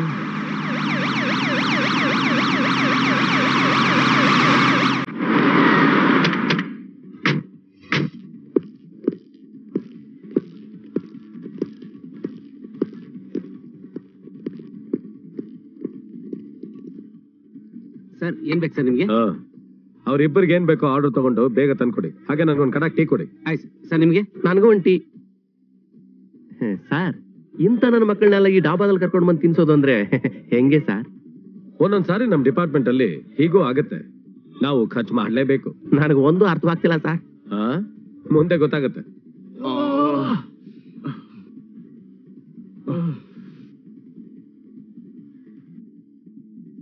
ಮುತ್ತು. ಸರ್? ನಾವೇ ನನ್ನ ಮಕ್ಕಳನ್ನ ಹಿಡ್ಕೊಂಡು ಹೋಗಿ ಸ್ಟೇಷನ್ಗೆ ಹಾಕಿ ಎಫ್ ಐ ಆರ್ ರೆಡಿ ಮಾಡಿ ಕೋರ್ಟು ಪ್ರೊಡ್ಯೂಸ್ ಮಾಡ್ತೀವಿ. ಅಲ್ಲಿ ಯಾವನೋ ಒಬ್ಬ ಲಾಯರ್ ಇವ್ರ ಪರ ವಾದ ಮಾಡಿ ಇವ್ರನ್ನ ಬಿಡಿಸ್ಬಿಡ್ತಾರೆ. ಮತ್ತೆ ನನ್ನ ಮಕ್ಕಳು ಆಚೆ ಬಂದು ಇದೇ ಕೆಲಸ ಶುರು ಮಾಡ್ತಾರಲ್ಲ? ಕಾನೂನಲ್ಲೇ ಲೂಪ್ ಹೋಲ್ಸ್ ಇದೆಯಲ್ಲ ಸರ್ ಅದಕ್ಕೆ ನೀವೇನ್ ಸರ್ ಮಾಡಕ್ಕಾಗತ್ತೆ?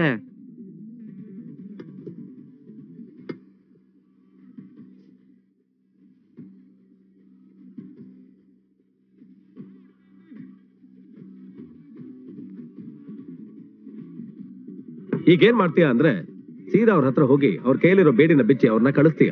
ಸರ್ ಏನ್ ಹೇಳ್ತಿದ್ದೀರಾ ಸರ್? ಹಾ. ನಾನು ಹೇಳೋನಲ್ಲ ಮಾಡೋನು. ಬಾ ನನ್ ಜೊತೆ. ಸರ್.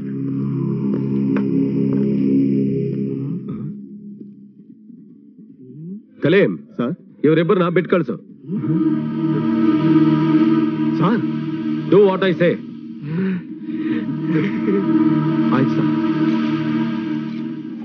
ಬೇಗ ಬಿಚ್ಚಲೆ ಈಗ ನೀವಿಬ್ರು ಏನ್ ಮಾಡ್ತೀರಾ ಅಂದ್ರೆ ಇಲ್ಲಿಂದ ಹಿಂದೆ ತಿರುಗದೆ ಓಡಿ ನಿಮ್ ಅಡ್ಡ ಸೇರ್ಕೋತೀರ? ಯಾಕ್ರ? ಬದ್ಕ ಕಾಸೆ ಇಲ್ಲ ಮತ್ತೆ ಓಡ್ರ? ಏನ್ರಿ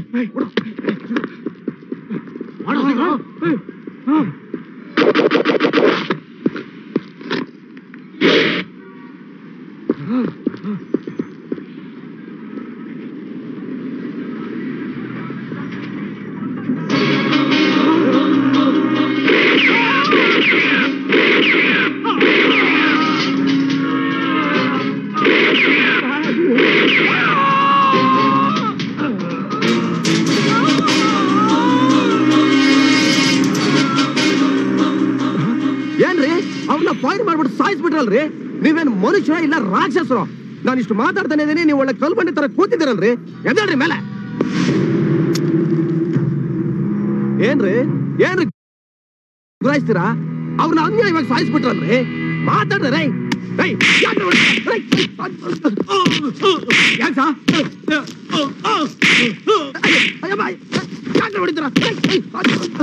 ನಾನೇನ್ ಮಾಡ್ದ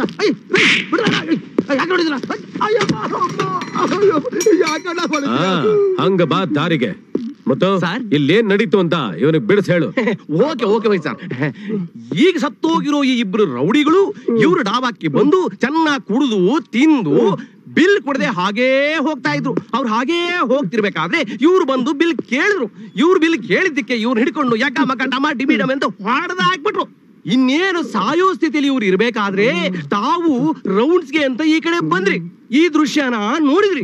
ನೋಡಿದ ತಕ್ಷಣ ಆ ರೌಡಿಗಳನ್ನ ಕರೆದು ಬಿಟ್ಟು ಕೂಲಾಗಿ ಅವ್ರಿಗೆ ವಾರ್ನ್ ಮಾಡಿದ್ರಿ. ಅವ್ರು ಏನ್ ಮಾಡಿದ್ರು ಅಂದ್ರೆ ನಿಮ್ ಮೇಲೆ ಅಟ್ಯಾಕ್ ಮಾಡಕ್ ಬಂದ್ರು. ಆಗ ನೀವೇನ್ ಮಾಡಿದ್ರಿ ಅಂದ್ರೆ ನಿಮ್ಮ ಪಿಸ್ತೂಲ್ ತಗೊಂಡು ನಿಮ್ಮ ಪ್ರಾಣ ರಕ್ಷಣೆಗೋಸ್ಕರ ಅವ್ರನ್ನ ಅಂತ ಶೂಟ್ ಮಾಡಿದ್ರಿ. ಇಷ್ಟೇ ಸರ್ ನಡೆದ ಕತೆ. ಗೊತ್ತಾಯ್ತಾ?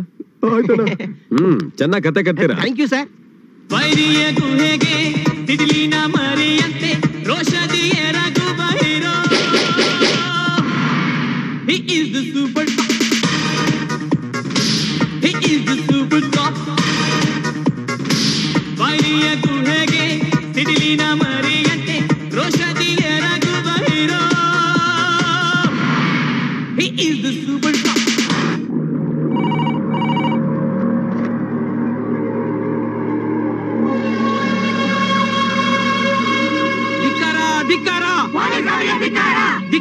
ಧಿಕ್ಕಾರ ಧಿಕ್ಕಾರ ಧಿಕ್ಕಾರ ಧಿಕ್ಕಾರ ಧಿಕ್ಕಾರ ಧಿಕ್ಕಾರ ಧಿಕ್ಕಾರ ಧಿಕ್ಕಾರ ಧಿಕ್ಕಾರ ಧಿಕ್ಕಾರ ಧಿಕ್ಕಾರ. ಧಿಕ್ಕಾರ ಧಿಕ್ಕಾರ ಧಿಕ್ಕಾರ.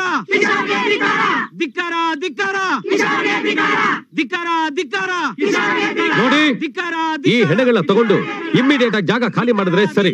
ಇಲ್ಲ ಅಂದ್ರೆ ಸತ್ತೋದ ಕ್ರಿಮಿನಲ್ಸ್ಗೆ ಸಪೋರ್ಟ್ ಮಾಡ್ತಿರೋ ನಿಮ್ಮನ್ನೆಲ್ಲ ಅರೆಸ್ಟ್ ಮಾಡ್ಬೇಕಾಗತ್ತೆ. ಹುಷಾರ್. ಅದೇನ್ ಮಾಡ್ತೀರಾ? ಮಾಡ್ರಿ ನಾವು ನೋಡ್ತೀವಿ. ಧಿಕ್ಕಾರ ಧಿಕ್ಕಾರ. ಧಿಕ್ಕಾರ ಧಿಕ್ಕಾರ. ಧಿಕ್ಕಾರ ಧಿಕ್ಕಾರ. ಧಿಕ್ಕಾರ ಧಿಕ್ಕಾರ.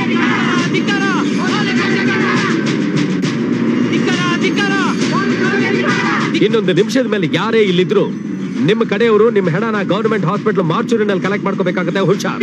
ಧಿಕ್ಕಾರ ಧಿಕ್ಕಾರ ಧಿಕ್ಕಾರ ಧಿಕ್ಕಾರ ಧಿಕ್ಕಾರ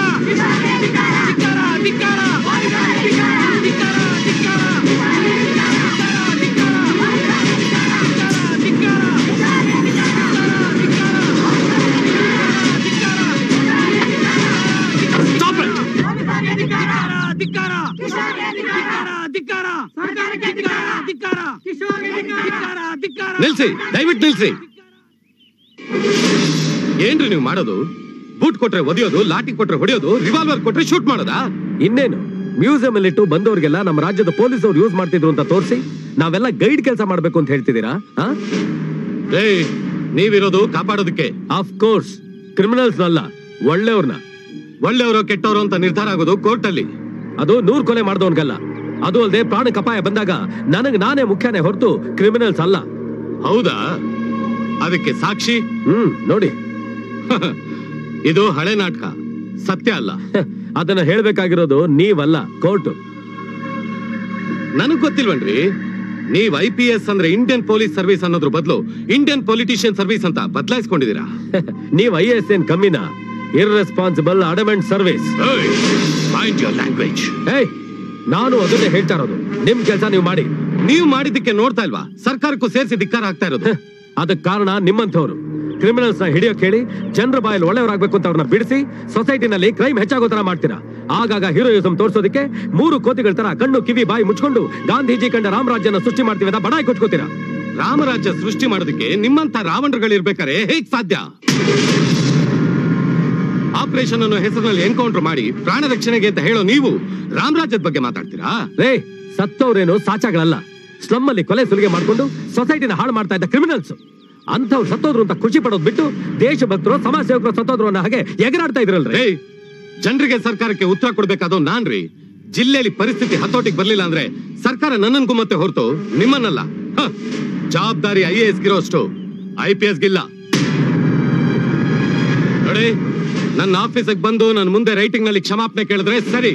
ಇಲ್ಲ ಅಂದ್ರೆ ಯಾವ್ದಾದ್ರು ಡಮ್ಮಿ ಡಿಪಾರ್ಟ್ಮೆಂಟ್ ಟ್ರಾನ್ಸ್ಫರ್ ಮಾಡಿ ಜೀವನ್ ಪರ್ಯಂತ ರಬ್ಬರ್ ಸ್ಟ್ಯಾಂಪ್ ಹೊತ್ಕೊಂಡು ಬಿದ್ದಿರ್ಬೇಕು ಹಾಗೆ ಮಾಡ್ಬಿಡ್ತೀನಿ. ಹುಷಾರ್. ಜಿಲ್ಲಾಧಿಕಾರಿಗಳಿಗೆ ಜಿಲ್ಲಾಧಿಕಾರಿಗಳಿಗೆ ಜಿಲ್ಲಾಧಿಕಾರಿಗಳಿಗೆ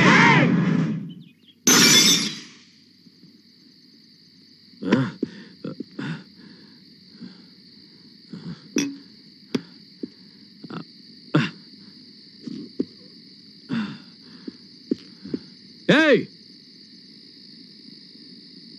ಬಾರಲೇ ಬಾರ ಆಚೆ. The great deputy commissioner come out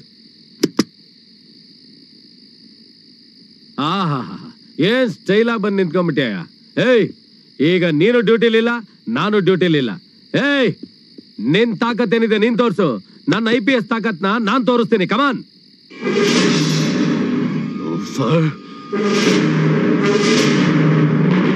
ಶರತ್ ಬೇಡ ಕಣೋ. ಬೇಡ. ಈ ಕೇಳ್ ಜನರ ಸವಾಸ ನಮಗ್ ಬೇಡ ಕಣೋ. ನಿನ್ ಮೇಲ್ ಹೋಗೋ. ಐ ಎಸ್ ಪಾಸ್ ಮಾಡ್ಕೊಂಡು ಎ ಸಿ ರೂಮಲ್ಲಿ ಕುತ್ಕೊಂಡು ಆರ್ಡರ್ ಪಾಸ್ ಮಾಡಿದ ತಕ್ಷಣ ಗ್ರೇಟ್ ಅನ್ಸಲ್ವೋ?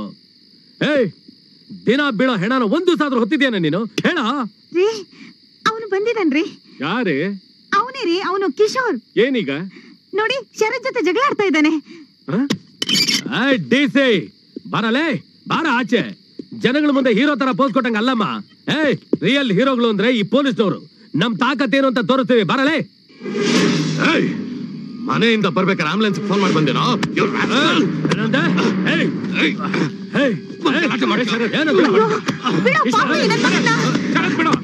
ಕಿಶೋರ್ ಕಿಶೋರ್.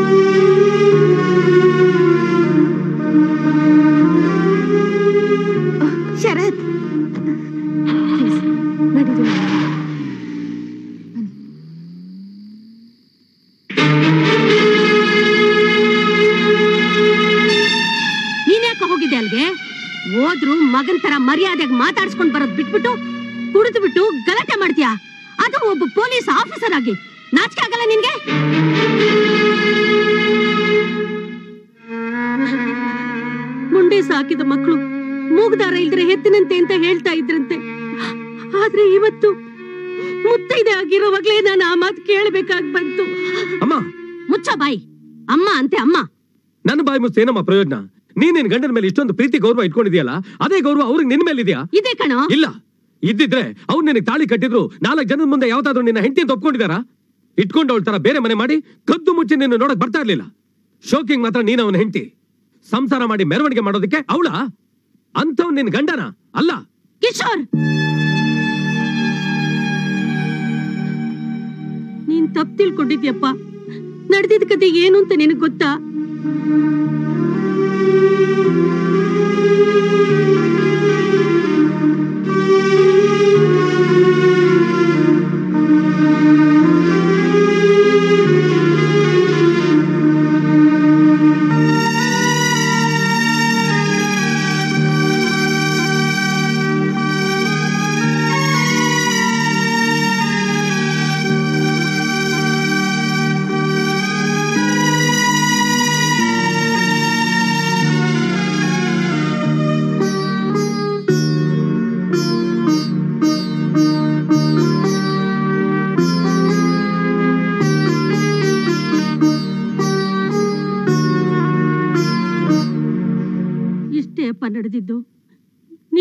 ಎಸ್ ಓದಿ ದೊಡ್ಡ ಆಫೀಸರ್ ಆಗ್ಬೇಕಾದ್ರೆ ಮುಖ್ಯ ಕಾರಣ ಅವರೇ ಕಣೋ ಅವರೇ.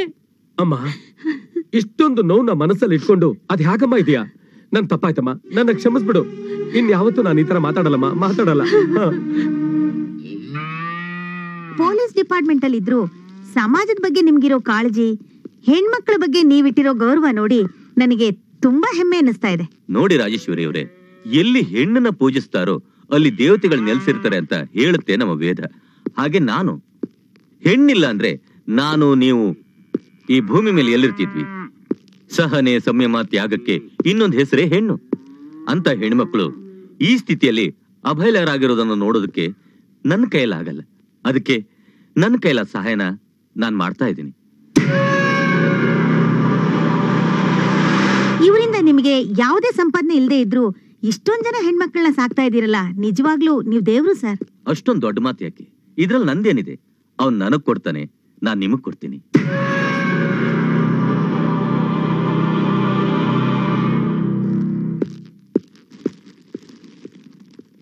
ನಟರಾಜ್ ಫಂಕ್ಷನ್ ಮುಗಿತಿದ್ದಂಗೆ ಅವನು ಇದೇ ದಾರಿಲಿ ಬರ್ತಾನೆ. ನಮ್ ವ್ಯಾನ್ ಹತ್ರ ಬರ್ತಿದ್ದಂಗೆ ಡೋರ್ ಓಪನ್ ಮಾಡು. ಆಯ್ತು. ಗೋವಿಂದ ಅವನ್ ಹಿಡಿದು ಒಳಗಡೆ ಹೇಳ್ಕೊ. ನಾನ್ ರಿವರ್ಸ್ ಗೇರಲ್ಲಿ ಇರ್ತೀನಿ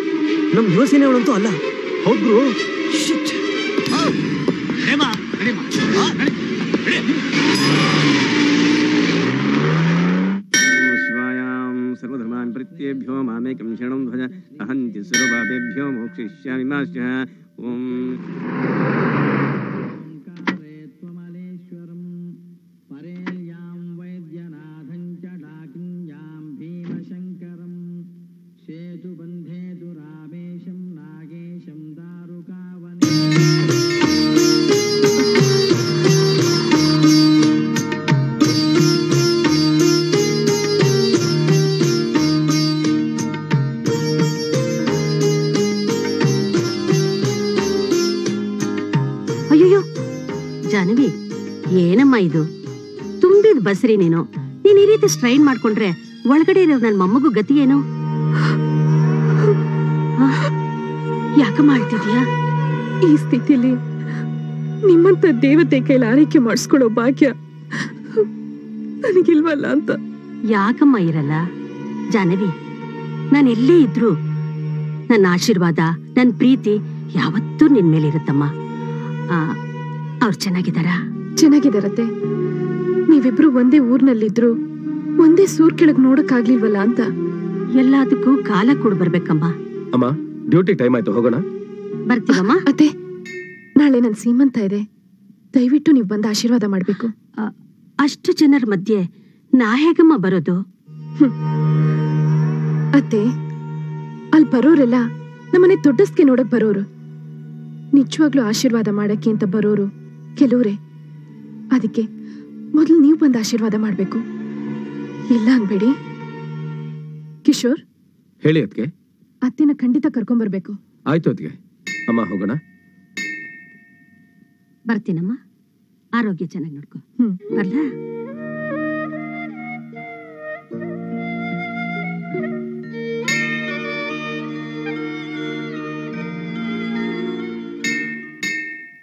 ನೋಡಿ ಈ ವರ್ಷ ಈ ಜಿಲ್ಲೆ ಡೆವಲಪ್ಮೆಂಟ್ಗೋಸ್ಕರ ಕೇಂದ್ರ ಸರ್ಕಾರ ಮೂವತ್ತು ಕೋಟಿ ರೂಪಾಯಿ ಸ್ಯಾಂಕ್ಷನ್ ಮಾಡಿದೆ. ಇದನ್ನ ಯಾವ್ಯಾವ ಕೆಲ್ಸಕ್ಕೆ ಉಪಯೋಗಿಸ್ಬೇಕು ಅಂತ ತೀರ್ಮಾನ ಮಾಡೋದಕ್ಕೆ ನಾವೆಲ್ಲ ಇಲ್ಲಿ ಸೇರಿದೀವಿ ನೀವೇನಾದ್ರೂ ತೀರ್ಮಾನ ಮಾಡ್ಕೊಳ್ಳಿ ಸ್ವಾಮಿ. ಅದಕ್ಕೆ ಮೊದಲು ನನಗೆ ಇಪ್ಪತ್ತೈದು ಲಕ್ಷ ಬೇಕೇ ಬೇಕು. ಯಾಕೆ? ಯಾಕ? ನಾನು ಈ ಸಾರಿ ಎಂ ಎಲ್ ಎ ಆಗಿ ಗೆಲ್ಲಬೇಕಾದ್ರೆ ನಮ್ಮ ಕಾರ್ಯಕರ್ತರಿಗೆ ಹೇಳಿದ್ದೆ. ನಮ್ಮ ಪಕ್ಷಕ್ಕೆ ಒಂದು ಆಫೀಸ್ ಕಟ್ಸ್ಕೊಡ್ತೀನಿ ಅಂತ. ಅದಕ್ಕೆ. ರೈ ಎಂ ಎಲ್ ಎ ಸಾಹೇಬ್ರೆ ನಿಮ್ ಪಕ್ಷದ ಆಫೀಸ್ ಕಟ್ಟೋದಕ್ಕೆ ಇದು ನಿಮ್ ಪಾರ್ಟಿ ಪ್ರೆಸಿಡೆಂಟ್ ಸ್ಯಾಂಕ್ಷನ್ ಮಾಡಿರೋ ಹಣ ಅಲ್ಲ. ಇದು ಜನರ ಉದ್ಧಾರಕ್ಕೆ ಸರ್ಕಾರ ಸ್ಯಾಂಕ್ಷನ್ ಮಾಡಿರೋ ಹಣ. ಇದು ಜನರಿಗೆ ಖರ್ಚಾಗ್ಬೇಕು. ಯೋ ನಿನ್ನ ಯಾವನ ಯಾಕೆ ಹೇಳ್ದ ರೇ ಮುಚ್ಚ್ರಿ ಬಾಯ್ನ. ಅವ್ರು ಹೇಳೋದು ಸರಿಯಾಗೇ ಇದೆ. ನಾನು ಸೆಂಟ್ರಲ್ ಗೌರ್ಮೆಂಟ್ ಇಂದ ಈ ಫಂಡ್ ಸ್ಯಾಂಕ್ಷನ್ ಮಾಡ್ಸ್ಕೊಂಡ್ ಬರ್ಬೇಕಾದ್ರೆ ಆಸ್ ಎಂ ಪಿ ಆಗಿ ಎಷ್ಟು ಕಷ್ಟಪಟ್ಟಿದ್ದೀನಿ ಗೊತ್ತೇನ್ರಿ? ಈ ಫಂಡ್ ಜನರ ಕಲ್ಯಾಣಕ್ಕೋಸ್ಕರನೇ ಖರ್ಚಾಗ್ಬೇಕು. ಏಯ್ ನಿಮ್ಮನ್ನ ನಂಬ್ಕೊಂಡು ನಮ್ಮ ಕ್ಷೇತ್ರ ಜನಕ್ಕೆ ಮೋಸ ಮಾಡಿದ್ನಲ್ರಿ? ಕರ್ಮ. ಏನ್ ಮಾಡ್ಕೋತೀರಿ ಮಾಡ್ಕೊ ಹೋಗ್ರಿ ನೋಡಿ ಇಂಥವ್ರ ಬಗ್ಗೆ ತಲೆ ಕೆಡಿಸ್ಕೊಂಡ್ರೆ ಕೆಲಸ ಆಗಲ್ಲ. ಮುಂದಾಗ ಕೆಲಸ ನೋಡೋಣ. ಸರ್ ಇದುವರೆಗೂ ಪ್ರತಿ ಸಲ ಫಂಡ್ ರಿಲೀಸ್ ಆದಾಗ ಅರ್ಬನ್ ಡೆವಲಪ್ಮೆಂಟ್ಗೆ ಅಂತಾನೆ ಮೇಜರ್ ಶೇರ್ ಖರ್ಚಾಗ್ತಾ ಇದೆ. ಆದ್ರೆ ಈ ಸಲ ಎಲ್ಲ ಕಡೆ ಬರಗಾಲ ಇರೋದ್ರಿಂದ ರೈತರ ಬಗ್ಗೆ ನಾವು ಯೋಚನೆ ಮಾಡಬೇಕು. Good idea thank you sir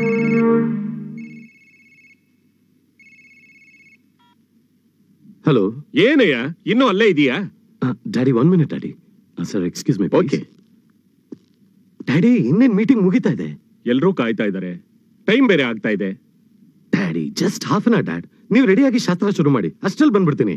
ಇಂಥ ಸಮಯದಲ್ಲಿ ಜಾಹ್ನವಿ ಪಕ್ಕದಲ್ಲಿ ನೀನಿದ್ರೆ ಅವಳು ಎಷ್ಟು ಸಂತೋಷ ಪಡ್ತಾಳೆ ಗೊತ್ತೇನೆಯ I'll be there daddy okay okay. ಬೇಗ ಬಾ. ಯಾಕೆ? ಏನಾಯ್ತು? ನಥಿಂಗ್ ಟು ವರಿ ಸರ್ ಹೌದಾ? Proceed. Thank you sir sir ಮೊದಲು ರೈತರಿಗೆ ಸಾಲ. ಅವರು ಕುಡಿಯೋ ನೀರಿನ ಸೌಲಭ್ಯ ಪರಿಹಾರ ಧನ ಮತ್ತೆ ಕೆರೆ ಹೂಳೆತ್ತುವ ಕಾರ್ಯಕ್ರಮ ಇದನ್ನೆಲ್ಲ ಕಾರ್ಯಗತ ನಾವು ಮಾಡಿದ್ರೆ ಸರ್ಕಾರ ಕೊಟ್ಟಿರೋ ಈ ಫಂಡು ಸಫಲವಾಗತ್ತೆ ಅಂತ ನನ್ನ ಅಭಿಪ್ರಾಯ. ಮಾವಯ್ಯ ಹ್ಮ್? ಅತ್ತೆ ಬರಲ್ವಾ? ಯಾಕಮ್ಮ? ಇಲ್ಲೇ ಇಲ್ಲ ಒಳಗಡೆ ಇರ್ಬೇಕು. ಶೈಲಾ? ಆ, ಈ ಅತ್ತೆ ಅಲ್ಲ ಮಾವಯ್ಯ. ಚಿಕ್ಕತ್ತೆ. ಬರಲೇಬೇಕು ಅಂತ ನಾನು ಬಲವಂತ ಮಾಡಿದನಮ್ಮ. ಆದ್ರೆ ಇಲ್ಲಿಗೆ ಬಂದು ಯಾರು ಮರ್ಯಾದೆ ಕಳ್ಕೊಳ್ಳೋದಕ್ಕೆ ಇಷ್ಟಪಡ್ತಾರೆ ಹೇಳು? ಹಾ ನೋಡಮ್ಮ ಟೈಮ್ ಆಯ್ತು. ನೀನು ಹೋಗಿ ರೆಡಿ ಆಗಮ್ಮ.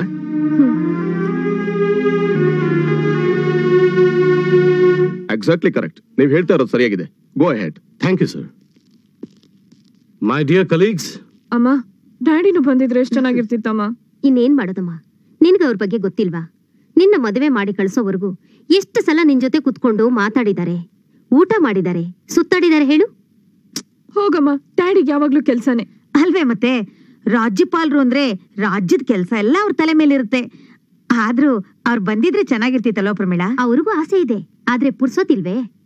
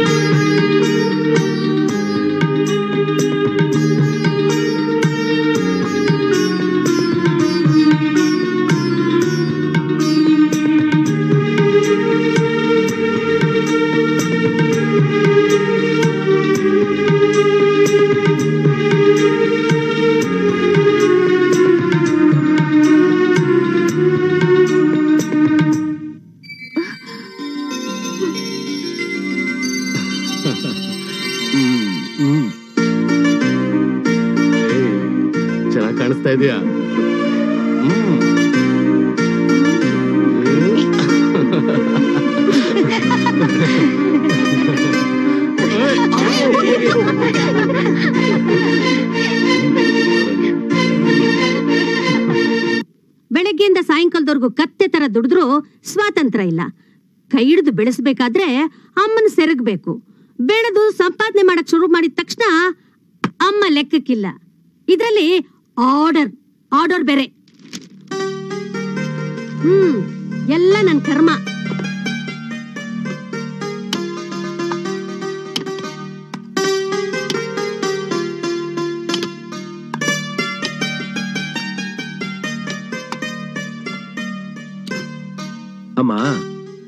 ಅತ್ತೆ ಮೇಲಿನ ಕೋಪನ ಕೊತ್ತಿ ಮೇಲೆ ತೋರಿಸಿದ್ರು ಅನ್ನೋ ಹಾಗೆ ನೀನ್ ಅನ್ನ ಮೇಲಿರೋ ಕೋಪನ ಅನ್ನ ಸಾರ್ ಮೇಲೆ ಯಾಕಮ್ಮ ತೋರಿಸ್ತಾ ಇದೀಯಾ? ನೋಡಮ್ಮ ನಿನ್ ಗಂಡನ ಮೇಲೆ ನಿನ್ಗೆ ಎಷ್ಟು ಪ್ರೀತಿ ಗೌರವ ಇದೆಯೋ ಅಷ್ಟೇ ಪ್ರೀತಿ ಗೌರವ ನಿನ್ನ ಮೇಲೆ ನನಗಿದೆ. ಅಮ್ಮ ನಾನ್ ನಿನ್ನ ಸೀಮಂತದ ಫಂಕ್ಷನ್ ಕರ್ಕೊಂಡು ಹೋಗಿದ್ದೆ ಅಂತ ಇಟ್ಕೋ. ಅಲ್ಲಿ ನಿನ್ ಬಗ್ಗೆ ಯಾರಾದ್ರೂ ಕೇವಲ ಮಾತಾಡಿದ್ರೆ ನಾನ್ ಸುಮ್ನೆ ಇರ್ತಿದ್ನ? ಡೆಫಿನೆಟ್ ಆಗಿ ಗಲಾಟೆ ಮಾಡ್ತಿದ್ದೆ. ಅದ್ ಚೆನ್ನಾಗಿರ್ತಿತ್ತ? ಫಂಕ್ಷನ್ ನಿಂತೋಗ್ತಿರ್ಲಿಲ್ವಾ? ಅಲ್ವೇನಮ್ಮ? ನೋಡಮ್ಮ ನಾವೆಲ್ಲ ಒಟ್ಟಾಗಿ ಬಾಳೋ ಕಾಲ ಇವತ್ತಲ್ಲ ನಾಳೆ ಬಂದೇ ಬರುತ್ತೆ. ನೀನ್ ಸಮಾಧಾನ ಮಾಡ್ಕೊಮ್ಮ. ಈಗ ನಗಮ್ಮ ನನ್ಗೋಸ್ಕರ ನಗಮ್ಮ ಪ್ಲೀಸ್ ನಾನ್ ನಗ್ತೀನಿ. ನೀನ್ ಮೊದಲು ಊಟ ಮಾಡು. ಇರಿರಿರು ಆ. ಇರು ಇರು, ಇರು. ನಾನ್. ತಿನ್ನಿಸ್ತೀನಿ,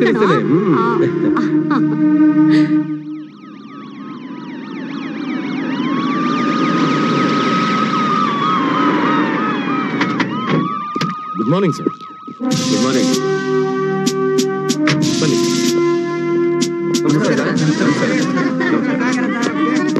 ಸರ್, ದಯವಿಟ್ಟು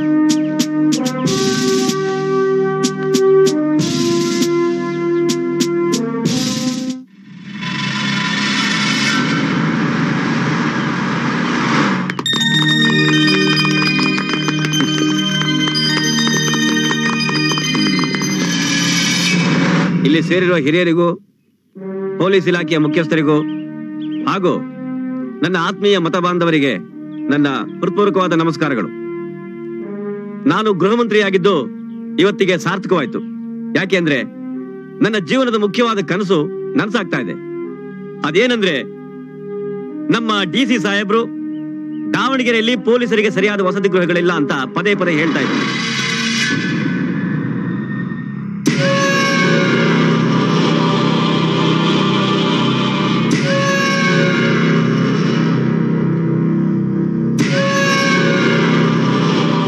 ವಿಷಯ ನಾನು ಸಿಎಂ ಹತ್ರ ಮಾತಾಡಿದೆ, ಅದಕ್ಕೆ ಅವರು ಒಪ್ಪಿ ಐನೂರು ಮನೆಗಳನ್ನ ಕಟ್ಟೋದಕ್ಕೆ ಸ್ಯಾಂಕ್ಷನ್ ಮಾಡಿದ್ದಾರೆ.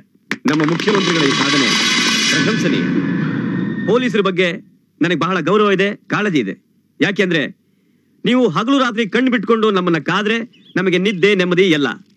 ಅಕಸ್ಮಾತ್ ನೀವೇನಾದ್ರೂ ಮೈ ಮರೆತ್ರೆ ನಾವೆಲ್ಲ ಶಾಶ್ವತವಾಗಿ ಕಣ್ಮುಚ್ಕೋಬೇಕಾಗತ್ತೆ.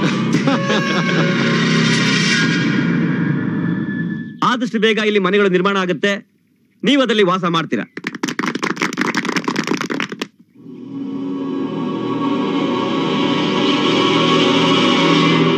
ಇಷ್ಟು ಹೇಳಿ ನನ್ನ ಪುಟ್ಟ ಭಾಷಣವನ್ನ ಮುಗಿಸ್ತಾ ಇದ್ದೀನಿ. ಬನ್ನಿ ಪ್ಲೀಸ್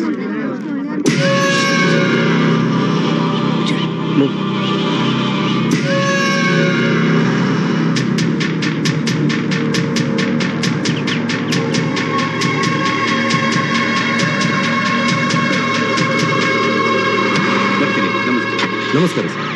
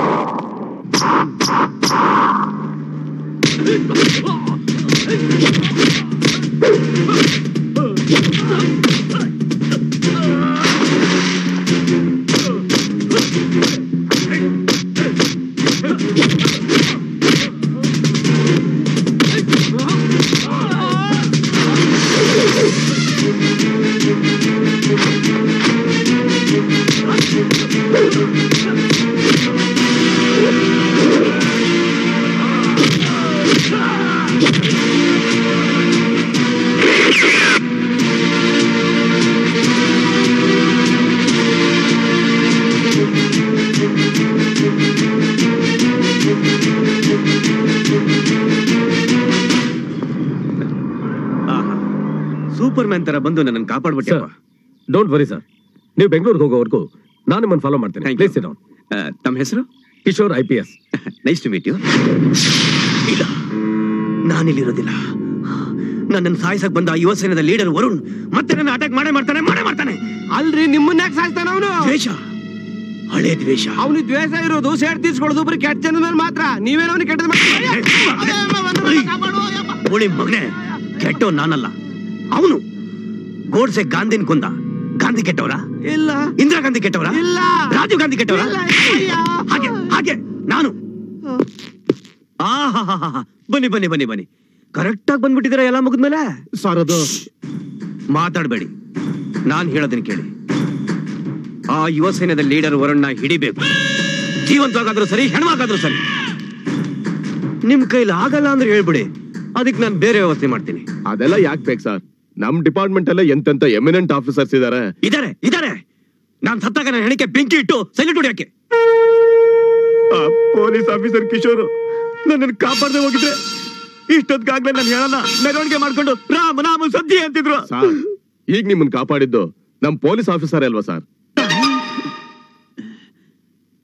ಅದೇ ಸರಿನೇ.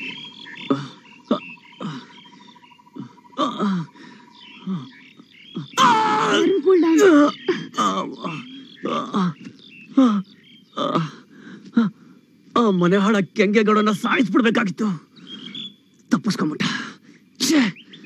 ವರುಣ್ ನನ್ನ ಮಾತು ಹೇಳ ಇಲ್ಲಿ ತನಕ ನಾವು ದುಷ್ಟರಿಗೆ ಶಿಕ್ಷೆ ಕೊಟ್ಟಿದೀವಿ ಸುಮಾರು ಕೊಲೆಗಳನ್ನು ಮಾಡಿದೀವಿ ನಮಗ್ ನ್ಯಾಯ ಸಿಗ್ಲೇ ಇಲ್ಲ. ಅದಕ್ಕೆ? ಈ ರಕ್ತಪಾತ ಬಿಟ್ಟು ನಮ್ ಪ್ರಾಬ್ಲಮ್ ಸಾಲ್ವ್ ಆಗೋ ಹಾಗೆ ನಮ್ ಸ್ಕೀಮ್ನ ಬದಲಾಯಿಸ್ಕೊಂಡ್ರೆ? ಹೌದು. ಶ್ವೇತ ಹೇಳೋದ್ರಲ್ಲೂ? ನ್ಯಾಯ ಇದೆ ಕಣ. ವರುಣ್ ಅದಕ್ಕೊಂದು ಐಡಿಯಾ ಇಲ್ಲ ಏನದು? ಏನಮ್ಮ ಜಾನ್ವಿ? ಎಲ್ಲೋ ಹೊರಟ್ರೆ ಆಗಿದೆ? ಶಾಪಿಂಗ್ ಇದೆ ರೀ. ಏನಮ್ಮ ಕೈಗೊಬ್ಬ ಕಾಲ್ಗೊಬ್ಬ ಅಂತ ಆಳಿರುವಾಗ ನೀನ್ ಯಾಕೆ ಶಾಪಿಂಗ್ ಹೋಗ್ಬೇಕು? ಅವರೆಲ್ಲ ಇರೋದು ನನಗೆ. ನನಗೆ ಹುಟ್ಟು ಮಗುಗಲ್ಲ. ಅಂದ್ರೆ ಅರ್ಥ ಆಗ್ಲಿಲ್ಲ. ಡ್ಯಾಡಿ ಮಗು ಆರೋಗ್ಯವಾಗಿ ಹುಟ್ಟಬೇಕು ಅಂದ್ರೆ ಸುಮ್ನೆ ಕೂತಿರ್ದೆ ಓಡಾಡ್ಕೊಂಡು ಕೈಲಾದಷ್ಟು ಕೆಲಸ ಮಾಡ್ಬೇಕು ಅಂತ ಡಾಕ್ಟರ್ ಹೇಳಿದ್ದಾರೆ. ಹೌದಾ? ಹಾಗಾದ್ರೆ ನಡಿ ನಾನು ನಿನ್ ಜೊತೆ ಶಾಪಿಂಗ್ ಬರ್ತೀನಿ. ಅಯ್ಯೋ ಮಮ್ಮಿ ನೀನ್ ನನ್ ಜೊತೆ ಬಂದ್ರೆ ಅಲ್ಲೇ ಬಲವಂತ ಮಾಡಿ ಒಂದ್ ಚೇರ್ ಹಾಕಿ ಕೂರ್ಸ್ಬಿಡ್ತೀಯ. ಪ್ಲೀಸ್ ನಾನೇ ಹೋಗ್ತೀನಿ. ಸರಿ ಅಮ್ಮ ನೀನು ಹೋಗ್ಬಾ ಥ್ಯಾಂಕ್ ಯು ಡ್ಯಾಡಿ ಗೀತಾ ಬಾ. ಬಾಯ್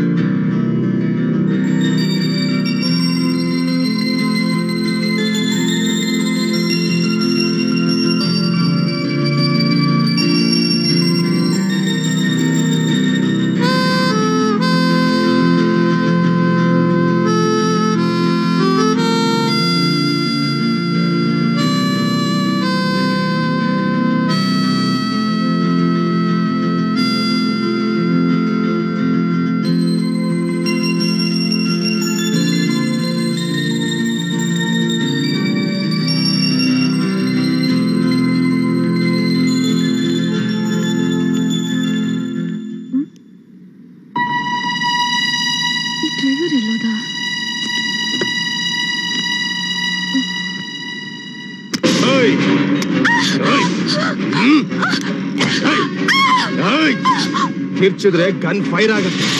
ನಿನ್ನ ಪ್ರಾಣ ಎದ್ದು ಹೋಗುತ್ತೆ. ಹುಷಾ.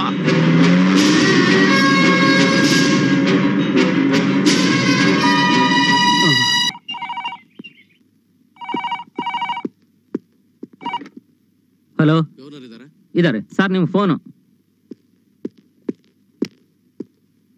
ಹಲೋ ಯಾರು ಮಾತಾಡ್ತಿರೋದು? ಯುವ ಸೇನೆ ನಿಮ್ಮ ಮಗಳನ್ನ ಕಿಡ್ನಾಪ್ ಮಾಡಿದೀವಿ. ಏನ್ ಏನ್ ಹೇಳ್ತಿದ್ಯ ನೀನು? ನಮ್ಮ ಬೇಡಿಕೆಗಳನ್ನ ನೀವು ಪೂರೈಸಿದ್ರೆ ನಿಮ್ಮ ಮಗಳು ಹೊಟ್ಟೆಲಿರೋ ಇನ್ನೊಂದು ಜೀವದ ಜೊತೆಗೆ ಜೀವಂತವಾಗಿ ಮನೆ ಸೇರ್ತಾಳೆ. ಇಲ್ಲ ಅಂದ್ರೆ ನಿಮ್ ಬೇಡಿಕೆ ಏನು? ನಮ್ಮ ಬೇಡಿಕೆ ಏನು ಅಂದ್ರೆ ಜಾತಿ ಆಧಾರದ ಮೇಲೆ ಸರ್ಕಾರಿ ಕೆಲಸ ಕೊಡುವಾಗ ರಿಸರ್ವೇಶನ್ ಕೋಟಾ ನಿಲ್ಸಿ.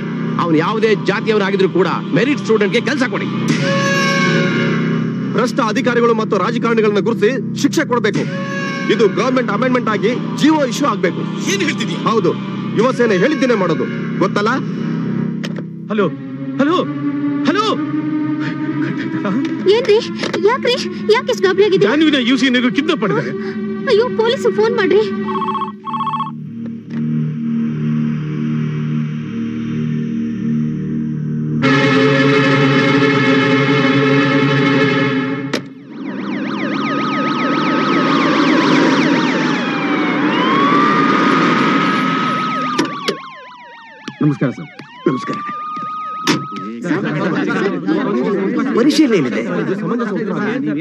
ನಾವು ಟ್ರೈ ಮಾಡ್ತಾ ಇದ್ದೀವಿ ಸದ್ಯದಲ್ಲೇ ಗೊತ್ತಾಗುತ್ತೆ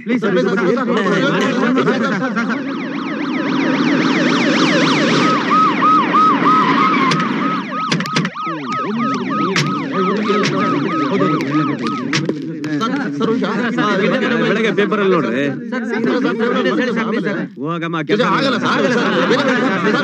ಸಮಾಧಾನ ಮಾಡ್ಕೊಳ್ಳಿ ನಿಮ್ ಮಗಳು ನೋಡ್ಕೋಕೆ ಎಲ್ಲಾ ವ್ಯವಸ್ಥೆನೂ ಮಾಡಿದೀವಿ ನೋಡಿ ಮುಖ್ಯಮಂತ್ರಿಗಳೇ ನಮ್ಮ ನೋವು ನಿಮ್ಗೆ ಹೇಗೆ ಗೊತ್ತಾಗುತ್ತೆ? ಇದೆಲ್ಲ ಹೇಗಾಯ್ತು? ಸೆಕ್ಯೂರಿಟಿ ಅವ್ರು ಇರ್ಲಿಲ್ವಾ ನೋಡಿ ಆಗಿದ್ದೇನೆ ಪದೇ ಪದೇ ಕೇಳಿ ನನ್ನ ನೋಯಿಸ್ಬಿಡಿ. ಮುಂದೆ ಆಗ್ಬೇಕಾದ್ದನ್ನು ನೋಡಿ. ನೋಡಿ ನಿಮ್ ನೋವು ನನಗೆ ಗೊತ್ತಾಗತ್ತೆ. ನೀವು ಧೈರ್ಯವಾಗಿರಿ. ನಿಮ್ ಮಗಳಿಗೆ ಏನು ಆಗಲ್ಲ ನನ್ನ ನಂಬಿಕೆ ನನಗಿದೆ. ನಂಬಿಕೆ? ನಿಮ್ ಮೇಲೆ ನಮ್ ಸರ್ಕಾರದ ಮೇಲೆ ಸೆಕ್ಯೂರಿಟಿ ಮೇಲೆ ಇಟ್ಟಿದ್ದಕ್ಕೆ ಈ ಅನಾಹುತ ಆಗಿತ್ತು. ಇಲ್ಲ ಇಲ್ಲ ಇಲ್ಲ. ನಾವ್ ಆ ಕಿಡ್ನಾಪರ್ಸ್ನ ಹಿಡ್ದ ಹಿಡಿತೀವಿ. ರೇ ನಂಬಿ ಬೇಕಾಗಿರೋದು ಕಿಡ್ನಾಪರ್ಸ್ ಅಲ್ಲ.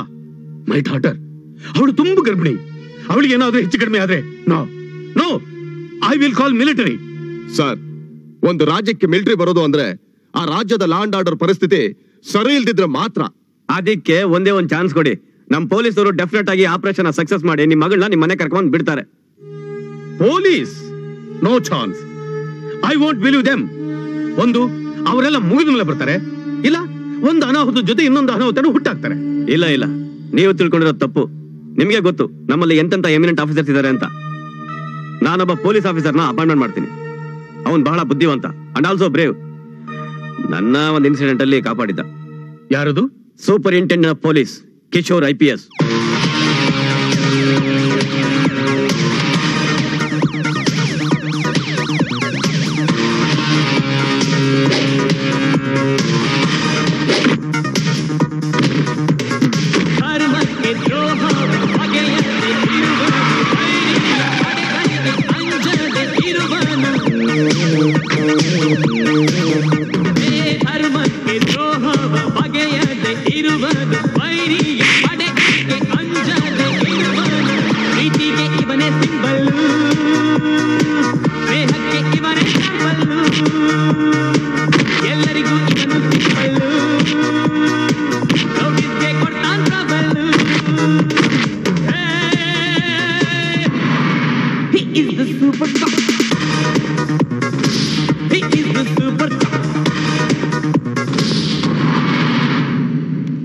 ನೋಡಿ ಅರ್ಜೆಂಟ್ ಆಗಿ ದಾವಣಗೆರೆ ಫೋನ್ ಮಾಡಿ ಕಿಶೋರ್ನ ಬರಕ್ಕೆ ಹೇಳಿ ಓಕೆ ಸರ್ ನಂಬರ್ ಹೇಳು. Zero eight one nine two three one five zero eight.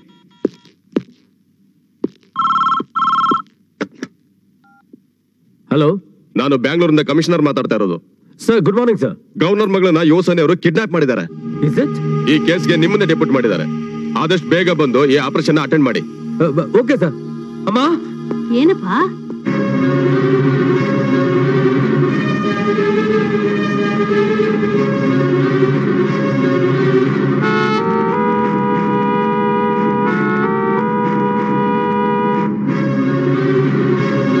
ಬೆಳಿಗ್ಗೆಯಿಂದ ಉಪವಾಸ ಇದ್ದೀರಾ?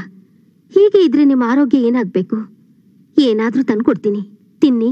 ಬೇಡ ನನಗೇನು ಹಸಿವಿಲ್ಲ.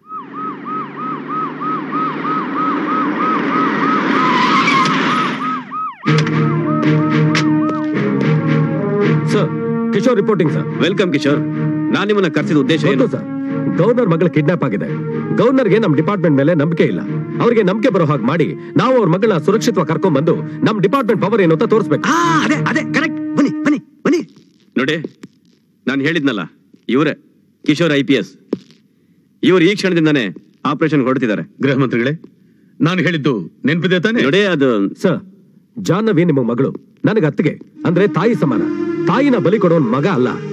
ನನ್ನ ಕರ್ತವ್ಯಕ್ಕೆ, ನಿಷ್ಠೆಗೆ ನಾನು ಯಾವತ್ತೂ ದ್ರೋಹ ಬಗದಿಲ್ಲ ಅನ್ನೋದಕ್ಕೆ ಸಾಕ್ಷಿ ಹೋಮ್ ಮಿನಿಸ್ಟರ್ ನನ್ನ ಮೇಲೆ ಇಟ್ಟರು ನಂಬಿಕೆ. ಬರ್ತೀನಿ ಸರ್.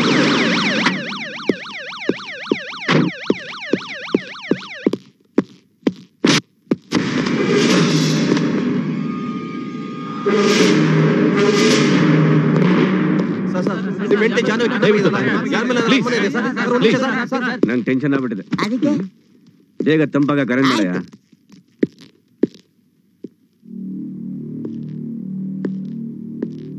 ಮಾವ ಕಿಶೋರ್ ಯಾಕೆ ಇಲ್ಲಿಗೆ ಬಂದಿದ್ದ? ಜಾನ್ವಿನ ಸೇವ್ ಮಾಡಿ ಕಿಡ್ನಾಪರ್ಸ್ನ ಹಿಡಿಯೋದಕ್ಕೆ ಅವನ್ನ ಅಪಾಯಿಂಟ್ ಮಾಡಿದ್ದಾರೆ. ಸರಿಯಾಗಿದೆ. ಕುರಿನ್ ಕಾಯಕ್ ತೋಳನ್ ಅನ್ಬಿಟ್ಟ ಹಾಗೆ. ವಾಟ್ ಡು ಯು ಮೀನ್ ಅವ್ನ್ ನನ್ ಮೇಲಿನ ದ್ವೇಷಕ್ಕೆ ನನ್ ಜಾನುವಿನ ಏನಾದ್ರು ಮಾಡ್ಬಿಡ್ತಾನೆ? ನೋ ನೋ ಅವನ ಮೇಲೆ ಹೈಯರ್ ಆಫೀಸರ್ಸ್ಗೆ ಒಳ್ಳೆ ಅಭಿಪ್ರಾಯ ಇದೆ. But I can't believe him in this case ನೋಡಿ ಹೇಳಿದ್ರೆ ಪೊಲೀಸ್ನವರು ಪ್ರಾಣ ಜೊತೆ ಆಟ ಆಡ್ತಾರೆ ಹೊರತು ನಂಬಿಕೆ ಕರ್ತವ್ಯದ ಮೇಲಲ್ಲ. ಕಿಶೋರ್ ಕರ್ತವ್ಯನ ತಾಯಿಯಷ್ಟೇ ಪ್ರೀತಿ ಮಾಡ್ತಾನೆ. ನೀವೇನೇ ಹೇಳಿದ್ರು ನಂಗೆ ನಂಬಿಕೆ ಬರ್ತಾ ಇಲ್ಲ. ಮೂರ್ ದಿನ ಕಾದ್ ನೋಡೋಣ. ನನಗೆ ಅಷ್ಟೊಂದು ಪೇಷನ್ಸ್ ಇಲ್ಲ. ಮತ್ತೇನ್ ಮಾಡ್ಬೇಕು ಅಂತಿದ್ದೀರಾ? ನೋಡಿ ನನ್ನ ಹೆಂಡತಿನ ಹೇಗೆ ಕಾಪಾಡ್ಕೋಬೇಕು ಅಂತ ನನಗ್ ಚೆನ್ನಾಗಿ ಗೊತ್ತು. ಯುವ ಸೈನ್ಯ. ಸೈನ್ಯ ಮೈ ಫುಟ್. ಸೈನಿಕರು ಅಂದ್ರೆ ರಣರಂಗದಲ್ಲಿ ಹೋರಾಡ್ತಾರೆ. ಗೆದ್ರೆ ಕೀರ್ತಿ ಸತ್ರ ಸ್ವರ್ಗ ಅಂತ ತಿಳ್ಕೊಂಡಿರ್ತಾರೆ. ಆದ್ರೆ ನಿಮ್ಮನ್ನ ನೋಡಿದ್ರೆ ಹಾಗನ್ಸೋದಿಲ್ಲ. ಮೇಡಮ್ ನೋಡಿ. ಮುಟ್ಬೇಡ ನನ್ನನ್ನ. ನೀವೆಲ್ಲ ದೇಶದ್ರೋಹಿಗಳು. ದೇಶದ್ರೋಹಿಗಳು ಅನ್ನೋದಕ್ಕೆ ನಾವು ಮಾಡ್ತಿರೋದು ಭಯೋತ್ಪಾದನೆ ಅಲ್ಲ. ಕೊಲೆ ಕಳ್ತನ ಸುಲಿಗೆನೂ ಅಲ್ಲ. ನಮ್ಮದು ಬೇಡಿಕೆ ಅಷ್ಟೇ. ಇದರಲ್ಲಿ ಯಾವ ಸ್ವಾರ್ಥನೂ ಇಲ್ಲ ಮೇಡಮ್ ಸಮಾಜ ಸುಧಾರಣೆ ಇದೆ. ಸುಧಾರಣೆ ಮಾಡೋರ್ಗೆ ಸೇವಾ ಮನೋಭಾವ ಇರುತ್ತೆ. ಸೇಡಿರೋಲ್ಲ. ಇಲ್ದೇ ಇದ್ರೆ ನನ್ನನ್ನ ಯಾಕೆ ಇಲ್ಲಿ ಕರ್ಕೊಂಬಂದ್ರಿ? ನಾನೇನ್ ಅನ್ಯಾಯ ಮಾಡ್ದೆ ಅಂತ? ನೀವಾಗ್ಲಿ ನಿಮ್ ಮನೆಯವರಾಗ್ಲಿ ಯಾವ ಅನ್ಯಾಯನೂ ಮಾಡಿಲ್ಲ ಮೇಡಮ್ ನಮಗೆ ನಿಮ್ ಬಗ್ಗೆ ಗೌರವ ಇದೆ. ಗೌರವ ಇದೆ. ಅದಿದ್ರೆ ಅದು ಇಂಥ ಪರಿಸ್ಥಿತಿಲಿ ನನ್ನ ಯಾಕೆ ಇಲ್ಲಿ ಕರ್ಕೊಂಡ್ ಬರ್ತಾ ಇದ್ರಿ? ಡಾಕ್ಟರ್ ನನ್ಗೆ ಆಲ್ರೆಡಿ ಟೈಮ್ ಕೊಟ್ಟಿದ್ದಾರೆ. ನನ್ಗೇನಾದ್ರೂ ಹೆಚ್ಚು ಕಮ್ಮಿ ಆದ್ರೆ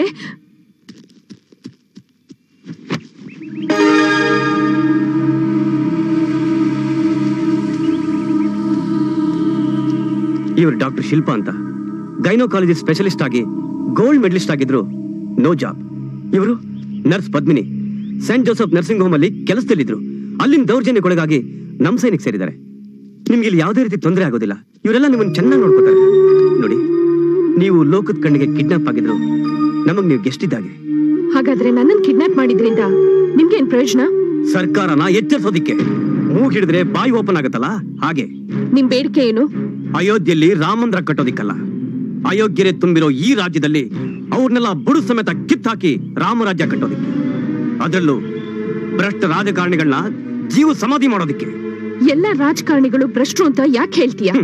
ಯಾಕೆಂದ್ರೆ ಅವರಿಂದ ನನಗೆ ತುಂಬಾ ಅನ್ಯಾಯ ಆಗಿದೆ. ನನಗೆ ಅರ್ಥ ಆಗ್ತಾ ಇಲ್ಲ. ಆಗುತ್ತೆ. ನಾನು ಎಂ ಕಾಂ ಪರೀಕ್ಷೆಯಲ್ಲಿ ರಾಜ್ಯಕ್ಕೆ ಎರಡನೇ ರ್ಯಾಂಕು. ಯೂನಿವರ್ಸಿಟಿಗೆ ಮೊದಲನೇ ರ್ಯಾಂಕ್ ಪಡೆದು best student of the year ಅಂತ ಮೆಡಲ್ ಪಡ್ಕೊಂಡೆ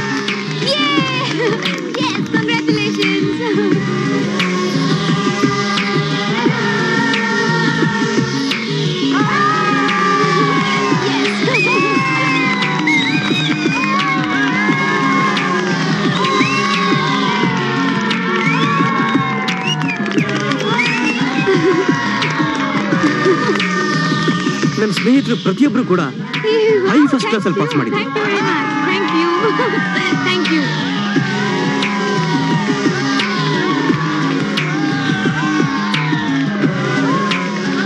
ನಾವು ಬದುಕಿನಲ್ಲಿ ಮುಂದೆ ಆಸೆ ಆಕಾಂಕ್ಷೆಗಳನ್ನ ಇಟ್ಕೊಂಡು ತುಂಬಾ ಖುಷಿಯಾಗಿದ್ವಿ.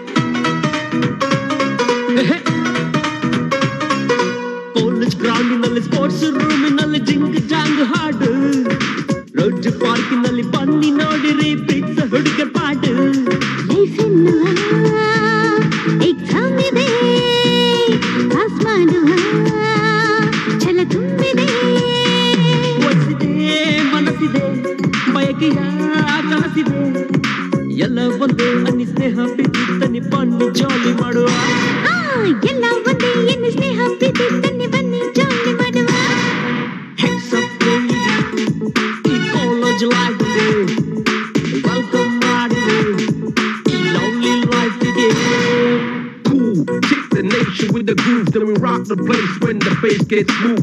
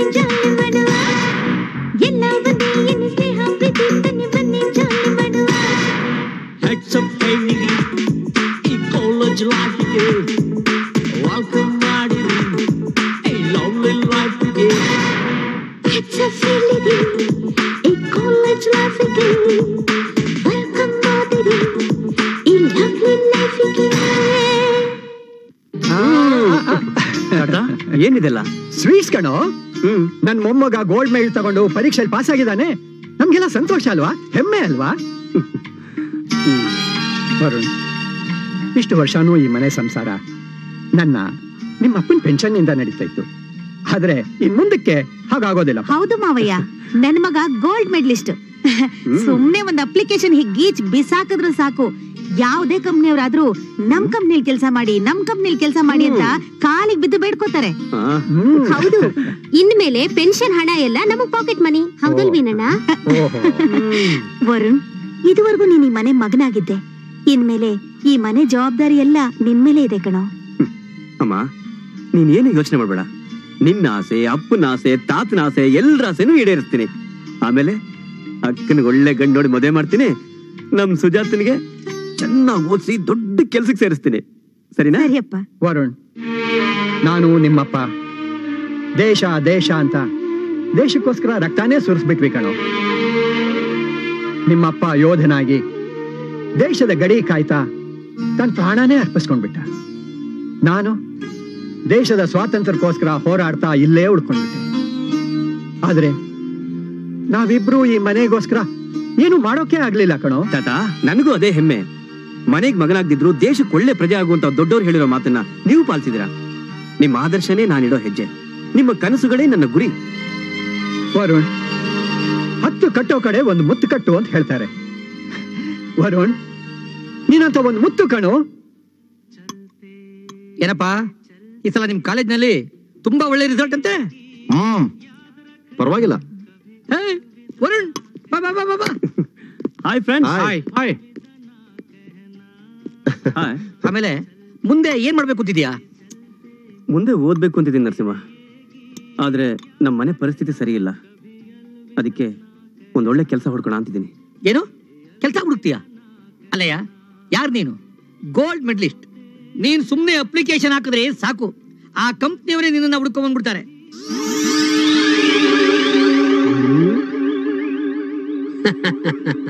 ಅಲ್ಲ ಕಣೋ ವರುಣ್ ಕಡಿಮೆ ಅಂದ್ರು ತಿಂಗಳಿಗೆ ಎಂಟರಿಂದ ಹತ್ತು ಸಾವಿರ ಸಂಬಳ ಕೊಡೋ ಕೆಲಸ ಸಿಗಲ್ವೇನಾ?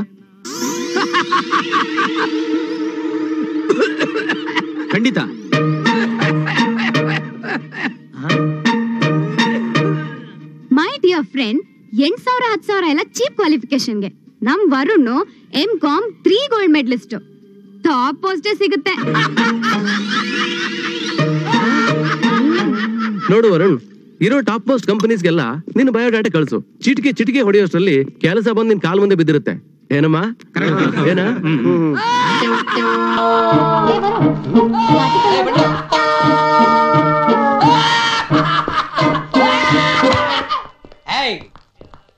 ನಾನು ಆವಾಗ್ಲಿಂದ ನೋಡ್ತಾನೆ ಇದ್ದೀನಿ. ನಮ್ಮ ಮಾತ್ ಮಾತ್ಕು ನೀನ್ ನಗ್ತಾನೆ ಇದೆಯಾ? ಏನ್ ಕಂಡೆ? ಮತ್ತಿನ್ನೇನ್ರಯ್ಯ ಅಲ್ರಯ್ಯ ಕೆಲಸ ಸಿಗೋದಷ್ಟು ಈಜಿ ತಿಳ್ಕೊಂಡಿದ್ದೀರಾ?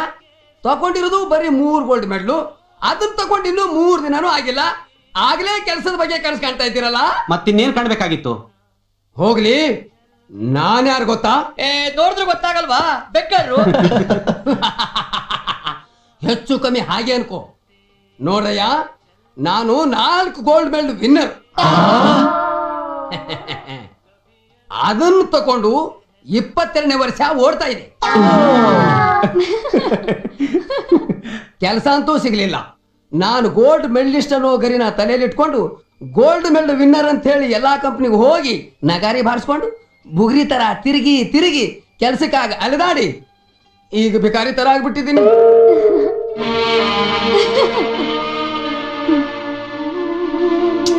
ಜೋನ್ ಬಾರಿ ಯಾರ್ ನಿನ್ ಕೆಲಸ ಸಿಗುತ್ತೆ. ಅಯ್ಯಯ್ಯೋ. ಹಾ. ಗಾಬರಿ ಆಗಬೇಡಿ ಈ ವರ್ಷ ನನ್ನ ಮಗನು B S C gold medallist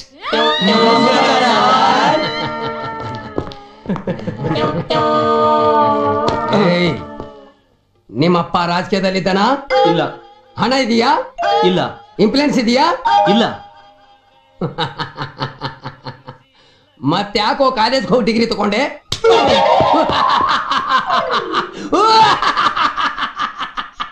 ಒಂಟಿ ಸಿಡ ಥ್ಯಾಂಕ್ ಯು ಸರ್ ನಿಮ್ಮ ಹೆಸರು? ವರುಣ್ ಕುಮಾರ್ ಅಂತ. ನಿಮ್ಮ ಕ್ವಾಲಿಫಿಕೇಶನ್ ಇದರಲ್ಲಿ ಎಲ್ಲ ಡೀಟೇಲ್ಸ್ ಇದೆ ಸರ್ ಹಾ ಓಕೆ ಫಸ್ಟ್ ಕ್ವೆಶ್ಚನ್ ಹಸಿ ಹಿಟ್ಟನ್ನ ನೀರಿನಲ್ಲಿ ಕಲಸಿ ಮಣೆ ಮೇಲೆ ತಟ್ಟಿ ಹಂಚಿನ ಮೇಲೆ ಸುಟ್ಟು ತಿಂತಾರಲ್ಲ ಆ ತಿಂಡಿ ಹೆಸರೇನು? ರೊಟ್ಟಿ. ನೋ ನೋ ನೋ ನೋ ಅವ್ರು ಕೇಳಿದ್ದು ಅಕ್ಕಿ ರೊಟ್ಟಿನೋ ಜೋಳದ ರೊಟ್ಟಿನೋ ರಾಗಿ ರೊಟ್ಟಿನೋ ಅಂತ. ಸರ್ ನನ್ನ ಕ್ವಾಲಿಫಿಕೇಶನ್ ಎಂ ಕಾಮ್. ನಾನು ಬಂದಿರೋದು ಅಕೌಂಟೆಂಟ್ ಕೆಲಸಕ್ಕೆ. ದಯವಿಟ್ಟು ಅದ್ರ ಬಗ್ಗೆ ಪ್ರಶ್ನೆ ಕೇಳಿ. ಲುಕ್ ಮಿಸ್ಟರ್ ಪ್ರಶ್ನೆ ಯಾವ್ದು ಕೇಳಬೇಕು ಅಂತ ನೀವು ನಮ್ಗೆ ಹೇಳ್ಕೊಡ್ಬೇಕಾಗಿಲ್ಲ. This is second and last question ಸರಿಯಾಗಿ ಕೇಳಿಸ್ಕೊಂಡು ಆನ್ಸರ್ ಮಾಡಿ.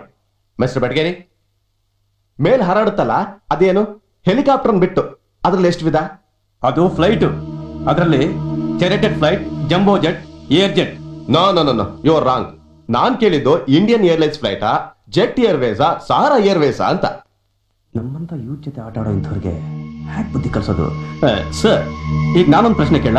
ಕೇಳಿ. ಸರ್ ಈ ಫೋಟೋದಲ್ಲಿರೋದು ಯಾರು ಅಂತ ಹೇಳ್ತೀರಾ? ಹ್ಮ್? ಇದು ಸಿಂಪಲ್ ಹುಡುಗಿದ್ದು. ನಿಮ್ಮಂತ ಹೆಂಗ್ ಬಾಯ್ಸು ಇಂಥ ಹುಡುಗಿರ ಫೋಟೋ ಇಟ್ಕೊಳ್ಳೋ ಸಹಜ ತಾನೆ? ನಾನ್ ಕೇಳಿದ್ದು ಅದನ್ನಲ್ಲ. ಈ ಫೋಟೋ ನಿಮ್ಮ ಅಮ್ಮಂದೋ ನಿನ್ ಮಗಳದೋ ಅಥವಾ ನಿನ್ ಹೆಂಡತಿದೋ ಅಂತ. ಹೆಸರಿಗೆ ಇಂಟರ್ವ್ಯೂ ಕೆಲಸ ಕೊಡೋದು ಲಂಚ ಕೊಡೋರಿಗೆ. ಈ ತರ ಹಣ ತಗೊಂಡು ಹೊಟ್ಟೆ ತುಂಬಿಸ್ಕೊಳಕ್ಕಿಂತ ಹೇಸ್ಗೆ ತಿನ್ ಬದುಕಲ್ಲ ಬದ್ಮಾಶ್ ನನ್ ಮಕ್ಕಳ್ರ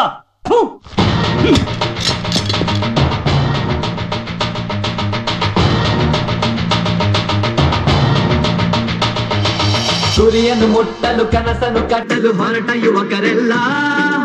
ಓದಿದ ಮೇಲೂ ಕೆಲಸವೂ ಇಲ್ಲ, ಏನು ಹೇಳಲಯ್ಯ? ಗುರಿಯನ್ನು ಮುಟ್ಟಲು ಕನಸನ್ನು ಕಟ್ಟಲು ಹೊರಟ ಯುವಕರೆಲ್ಲ. ಓದಿದ ಮೇಲೂ ಕೆಲಸವೂ ಇಲ್ಲ ಏನು ಹೇಳಲಯ್ಯ. ಮರುಳಾಯಿತು ಮಹದಾಸೆಯು.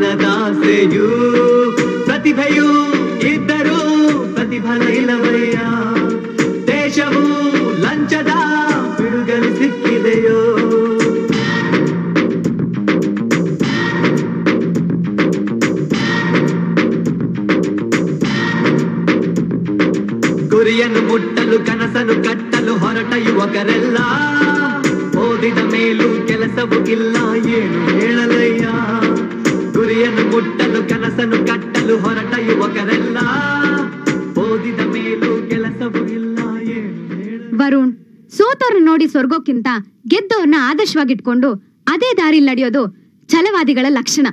Come on cheer up hmm. ನಮ್ಮ ನೆಚ್ಚಿನ ನಾಯಕ ಹಾಗೂ ಈ ಬಡಾವಣೆ ಕಾರ್ಪೊರೇಟರು ಆದಂತಹ ಶ್ರೀಯುತ ರಾಜೇಂದ್ರರವರು ಧ್ವಜಾರೋಹಣ ಮಾಡಬೇಕು ಅಂತ ನಾನು ಕೇಳ್ಕೊಳ್ತಿದ್ದೀನಿ.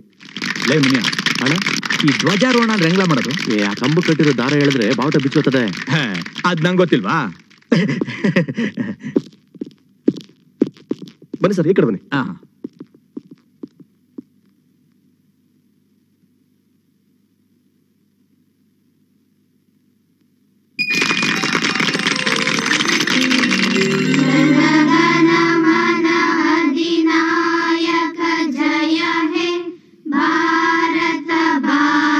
विदाता पञ्च सिन्धुगुजराट मराठ द्राविड उत्कलवङ्ग्य हिमाचलयमुनादङ्गल जलतितरङ्ग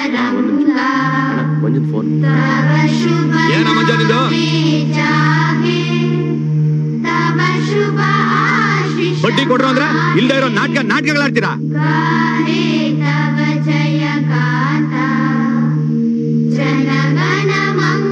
ಅವ್ನು ಹೇಳು, ಬಡ್ಡಿ ಸರಿಯಾಗಿ ಕೊಡ್ಲಿಲ್ಲ ಅಂದ್ರೆ ಅವನ ಹೆಂಡತಿ ಮಕ್ಕಳನ್ನ ಎತ್ತಾಕ ಬರ್ತೀವಿ ಅಂತ. ಹಾ.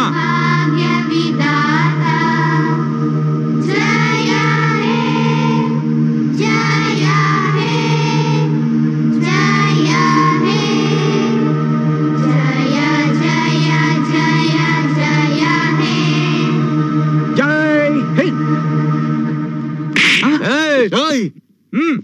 ರಾಷ್ಟ್ರಗೀತೆ ಅಂತಂದ್ರೆ ನಿನ್ಗಿಷ್ಟ ಬಂದ ಕೇಳಿಸ್ಕೊಂಡು ಕುಣಿಯಂತ ಪಾಪ ಸಂಗೀತ ಅನ್ಕೊಂಡೇನೋ ಈಗ ನಾನೇನ್ ತಪ್ಪು ಮಾಡಿದೆ ಅಂತ ಹೊಡೆದ್ರಿ? ತಪ್ಪ. ಬರೀ ತಪ್ಪಲ್ಲ ಕಣೋ. ಮಹಾಪರಾಧ ಮಹಾಪರಾಧ ಮಾಡಿದೀಯ. ಜನಗಣ ಮನ ಅಂದ್ರೆ ಇಡೀ ದೇಶನೇ ಎದ್ದು ನಿಂತು ಗೌರವ ತೋರಿಸುತ್ತೆ. ಒಬ್ಬೊಬ್ಬ ದೇವರನ್ನ ಒಲಿಸ್ಕೊಳ್ಳೋದಕ್ಕೆ ಒಂದೊಂದು ಶ್ಲೋಕ ಇದೆ. ಹಾಗೇನೆ ನಮಗೆ ಜನ್ಮ ಕೊಟ್ಟ ಈ ಭೂಮಿಗೆ ಋಣ ತೀರಿಸೋದಕ್ಕೆ ಈ ರಾಷ್ಟ್ರಗೀತೆಗಳು ನಮ್ಮ ರಾಷ್ಟ್ರಧ್ವಜದ ಮಹತ್ವ ಆದರೂ ಗೊತ್ತೇನೋ ನಿನಗೆ? ಕೇಸರಿ ಹಿಂದೂಗಳು, ಹಸಿರು ಮುಸಲ್ಮಾನರು, ಬಿಳಿ ಕ್ರೈಸ್ತರು, ಇವರೆಲ್ಲ ಒಟ್ಟಾಗಿ ಬಾಳೋದೆ ಭಾರತದ ಭಾವೈಕ್ಯತೆ ಅಂತ ತಿಳಿಸೋದೆ ಈ ರಾಷ್ಟ್ರಧ್ವಜ ಕಣೋ. ಅದರ ಕೆಳಗೆ ನಿಂತ್ಕೊಂಡು ಬಡ್ಡಿ ವ್ಯವಹಾರ ಮಾಡ್ತಾ ಇದೆಯಲ್ಲೋ? ಅದು ಒಬ್ಬ ಜವಾಬ್ದಾರಿ ವ್ಯಕ್ತಿಯಾಗಿ. ನಾಚಿಕೆ ಆಗ್ಬೇಕು ನಿನಗೆ. ತಾತ, ನಂಗೆ ಕ್ಷಮಿಸ್ಬಿಡಿ ತಾತ. ಇಷ್ಟೆಲ್ಲ ನನಗೆ ಗೊತ್ತೇ ಇರಲಿಲ್ಲ. ಜನಗಳ ಕೈಲಿ ಓಟ್ ಹಾಕಿಸ್ಕೊಂಡು ಜನನಾಯಕ ಆಗೋದು ಅಷ್ಟೇ ನನಗೆ ಗೊತ್ತಿತ್ತು. ಈ ರಾಷ್ಟ್ರ ರಾಷ್ಟ್ರಭಕ್ತಿ ಇದೆಲ್ಲದರ ಬಗ್ಗೆ ಉಪದೇಶ ಮಾಡಿದ ಮೊದಲನೇ ಗುರು ನೀವೇ ತಾತ? ನನಗೆ ಕ್ಷಮಿಸ್ಬಿಡಿ ತಾತ. ನನಗೆ ಕ್ಷಮಿಸ್ಬಿಡಿ ತಾತ. ಏನ್ ಮಾಡ್ತಿದೀಯ? ಹೇಳು ಹೇಳು ಹೇಳು. ತಪ್ಪನ್ನ ತಿದ್ದುಕೊಳ್ಳೋನೆ ನಿಜವಾದ ಮನುಷ್ಯ. ನೋಡು ಇನ್ನಾದರೂ ಮನುಷ್ಯನಾಗಿ ಬಾಳೋದನ್ ಕಲಿ. ನಾನೇನ್ ಬರ್ತೀನಿ.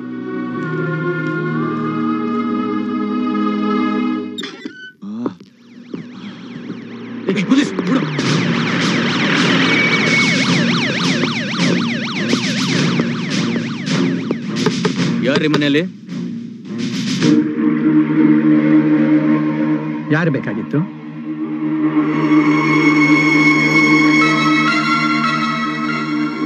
ಒಳ್ಳೊಳ್ಳೆ ಮಾಲ್ಗಳನ್ನ ಇಟ್ಕೊಂಡಿದ್ಯಾ ಏನ್ ಮಾತಾಡ್ತಿದ್ದೀರಿ ಇನ್ಸ್ಪೆಕ್ಟರ್ ನೀವು? ಇವ್ರನ್ನ ಇಟ್ಕೊಂಡು ವ್ಯಾಪಾರ ಮಾಡ್ತಾ ಇದೆಯಲ್ಲ ಅದ್ರ ಬಗ್ಗೆ ಹೇಳಿದೆ.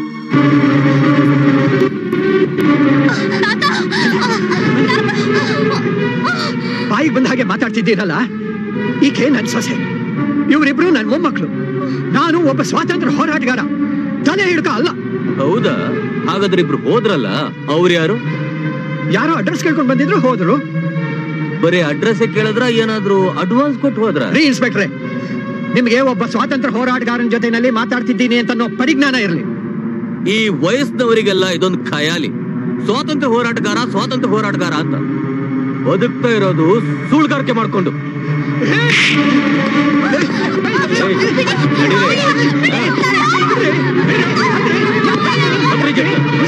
ನಾವ್ ಯಾಕೆ ಹತ್ಬೇಕು ಯಾಕ ಸುಳ್ಗಾರಿಕೆ ಮಾಡ್ತಾ ಇದ್ರೆ ಅಂತ ಕೇಸ್ ಬುಕ್ ಮಾಡಿ ಸ್ಟೇಷನ್ ಅಲ್ಲಿ ವಿಚಾರಣೆ ಮಾಡಿ.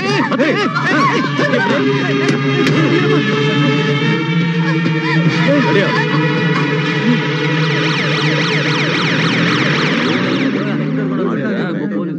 ವರುಣ್ ವರುಣ್, ನಿಮ್ ಮನೆಯವ್ರ ಪೊಲೀಸ್ನವರು ಅರೆಸ್ಟ್ ಮಾಡ್ಕೊಂಡು ಎತ್ತಕೊಂಡು ಹೋಗಿದ್ದಾರೆ ಏನಾಗ ಮಹಾಲಕ್ಷ್ಮಿ ಲೇಔಟ್ ಜಯಮ್ನ ಹತ್ರ ರೋಲ್ ಕಲಿಸ್ಕೊಂಡ್ ಬಂದ್ಯಾ? ಸರ್. ಬಡ್ಡಿ ಬಡ್ಡಿ ಬಿಡ್ಬೇಡ್ರಿ ಅವನ ಹತ್ರ. ನಮಸ್ಕಾರ ಎಲ್ಲ ಅವನ? ಸೆಲ್ಲಲ್ಲಿ ಇದ್ದಾರೆ ಸರ್. ಓಹೋ ನಮಸ್ಕಾರ ಸರ್.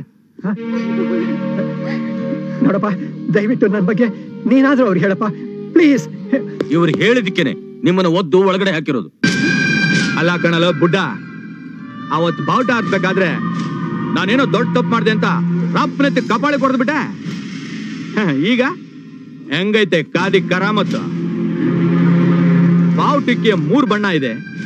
ಅದ್ರ ಅರ್ಥ ಏನ್ ಗೊತ್ತಾ ಅಂತ ಅವತ್ತು ಅರಿಕತೆ ಮಾಡಿದ್ಯಲ್ಲ? ಆ ಮೂರ್ ಬಣ್ಣಕ್ಕೆ ನಮ್ಮ ಅರ್ಥ ಏನ್ ಗೊತ್ತಾ? ಮೊದಲನೇದು ಕೇಸರಿ. ಅಂದ್ರೆ ರಕ್ತ. ನಮ್ಮ ವಿರುದ್ಧವಾಗಿ ಯಾರೇ ತಿರುಗಿ ಬಿದ್ರು ಅವ್ರನ್ನ ಸಿಗದಾಕಿ ರಕ್ತದ ಕೋಡಿ ಏರಿಸ್ಬಿಡ್ತೀವಿ. ಎರಡನೇದು ಬಿಳಿ. ಸತ್ ಮೇಲೆ, ಹೆಣದ ಮೇಲೆ ಒದಿಸೋ ಬಿಳಿ ಬಟ್ಟೆ. ಮೂರನೇದು ಹಸಿರು.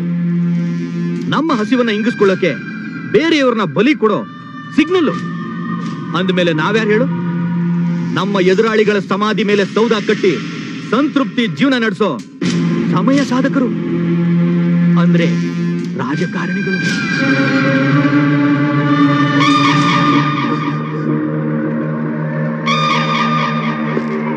ಇನ್ಸ್ಪೆಕ್ಟರ್. ಸರ್? ಆ ಚಿಕ್ಕ ಪೀಸ್ ಯಾವುದು? ಆ ತಾತನ ಕಿರಿಮೊಮ್ಮಗಳು. ಇವತ್ತು ರಾತ್ರಿ ಯಾರು ಕಂಪ್ನಿ ಇಲ್ಲ. ಅವಳನ್ನ ಕಳ್ಸ್ಕೊಡು. ಅವಳೊಬ್ಳಿಗೆ ಮಾತ್ರ ನಾನ್ ಜಾಮೀನು ಕೊಡ್ತೀನಿ. ಅವಳ ಮೇಲೆ ನಾನು ನಿನ್ ಕಣ್ಣು ಹಾಕಿದ್ರೆ ನಿನ್ ಕಣ್ಣು ಕಿತ್ತು ಬಿಡ್ತೀನಿ ಹುಷಾ ಕಿತ್ತಾಕು. ಕತ್ಲೆಲ್ ನಡೆಯೋ ಕೆಲ್ಸಕ್ಕೆ ಕಣ್ಣೆ ಹಾಕ್ಬೇಕು. ಹೇಗಿದ್ರು ಪ್ರಾಸ್ಟಿಟ್ಯೂಷನ್ ಕೇಸಲ್ಲಿ ಅರೆಸ್ಟ್ ಆಗಿದ್ದೀರಾ? ಅದ್ರಲ್ಲಿ ನನ್ನ ಹೆಸರೇನು ಬರಲ್ಲ? ಬೇಕಾದಷ್ಟು ಜನ ಓಡಾಡಿರೋ ಆದಿಲಿ ನಂದು ಒಂದು ಹೆಜ್ಜೆ ಅನ್ಕೋತಾರೆ. ಅಷ್ಟೇ. ಸರ್ ಈಗ ತಾನೇ ಎಫ್ ಐ ಆರ್ ರಾತ್ರಿ ನಾನೇ ಕರ್ಕೊಂಡ್ ಬಂದ್ಬಿಡ್ತೀನಿ ಪ್ಲೀಸ್ ಹೋಗಿ ಸರ್. ತಿನ್ಬೇಕು. ಅಷ್ಟೇ. ಹಾ. ನಿನ್ ಸಿಡ್ದು ಹಾಕ್ತೀನಿ.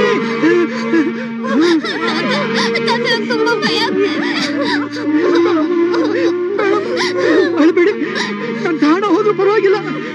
ನಿಮ್ ಉಳಿಸ್ತೀನಿ ಅಲ್ಲ ರೀ ನೀವು ಕೊಡೋ ಹಣಕ್ಕೆ ಅದೆಲ್ಲ ಗಿಟ್ಟಲ್ಲಪ್ಪ. ನೀವು ಸ್ವಲ್ಪ ಜಾಸ್ತಿ ದುಡ್ಡು ಕೊಟ್ರೆ ಇನ್ಸ್ಪೆಕ್ಟರ್ ನಮ್ಮ ಮನೆಯವ್ರನ್ನ ಅರೆಸ್ಟ್ ಮಾಡಿರೋ ಕಾರಣ? ಕಾರಣನ? ಕೋರ್ಟ್ ಅಲ್ಲಿ ಹೇಳ್ತೀನಿ.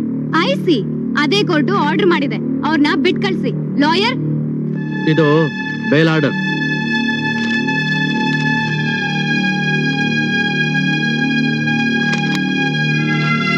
ಏನಾಗ ಅವ್ರನ್ನ ಬಿಟ್ಟು ಕಳ್ಸು. ಆಯ್ತಾ?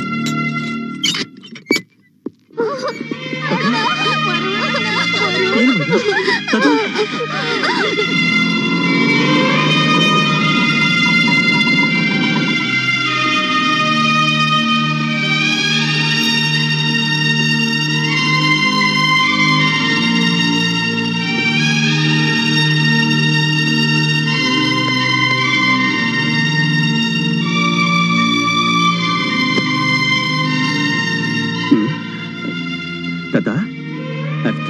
ಪೊಲೀಸ್ ಸ್ಟೇಷನ್ ಹೋಗಿದ್ದಕ್ಕೆ ಯಾಕೆ ಫೀಲ್ ಮಾಡ್ಕೋತಿದ್ದೀರಾ?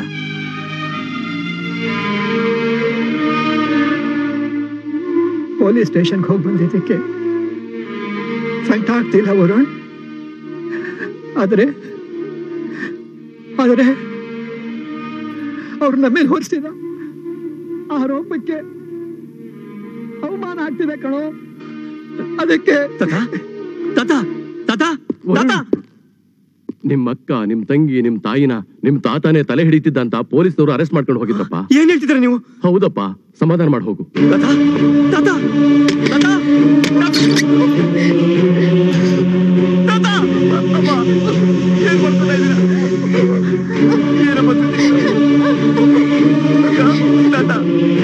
ಮಾಡ್ಕೊಳಕ್ ಹೋದ್ರಿ? ಹೇಳಿ ತಾತ. ಮಾದಾನೆ ಹೋದ್ಮೇಲೆ ಪ್ರಾಣ ಇದ್ರೆಷ್ಟು ಬಿಟ್ರೆಷ್ಟು ಹಾಗಾದ್ರೆ ಆ ಲೋಕೇಶಪ್ಪ ಹೇಳಿದ್ದಿಲ್ಲ ನಿಜನಾ? ಹೇಳಿ ತಾತ. ಹೇಳಿ. ಅವತ್ತು ಆ ಕಾರ್ಪೊರೇಟರ್ ರಾಜೇಂದ್ರ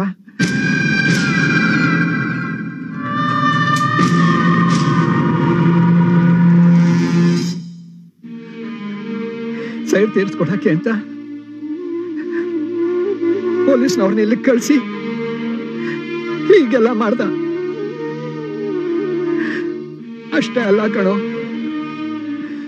ಅವನು ಪೊಲೀಸ್ ಸ್ಟೇಷನ್ಗೆ ಬಂದು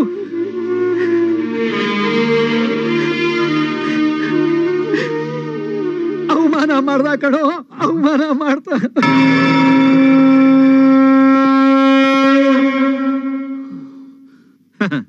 ನೋಡ್ರ, ನಾನ್ ಕಾರ್ಪೆಟ್ರ್ ಆದೆ ಅಂತ. ಮಾಮೂಲಿ ರೋಲ್ ಕಾಲ್ ಮಾಡೋದೆಲ್ಲ ಮರಿಬೇಡಿ ಕಣ್ರೋ. ಆಗ್ಲೇ ಡಬಲ್ ಡಬಲ್ ಕೊಡ್ಬೇಕು ಅಂತ ಹೇಳ್ಬಿಟ್ಟಿದೀವಿ ಭಾರತ ಹಾ ಶಬಾಷ್.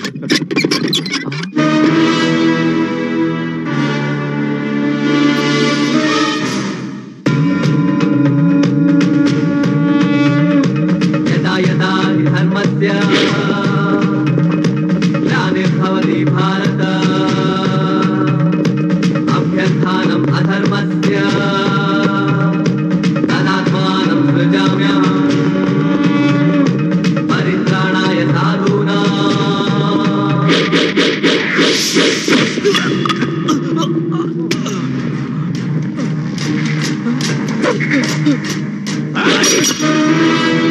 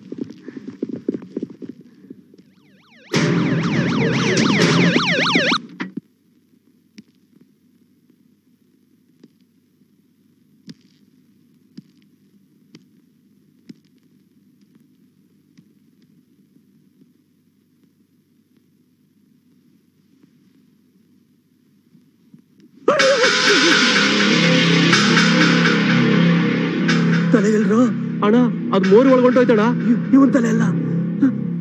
ಇವನ್ ತಲೆ ತೆಗೆದಲ್ಲ ಅವನ್ ತಲೆ.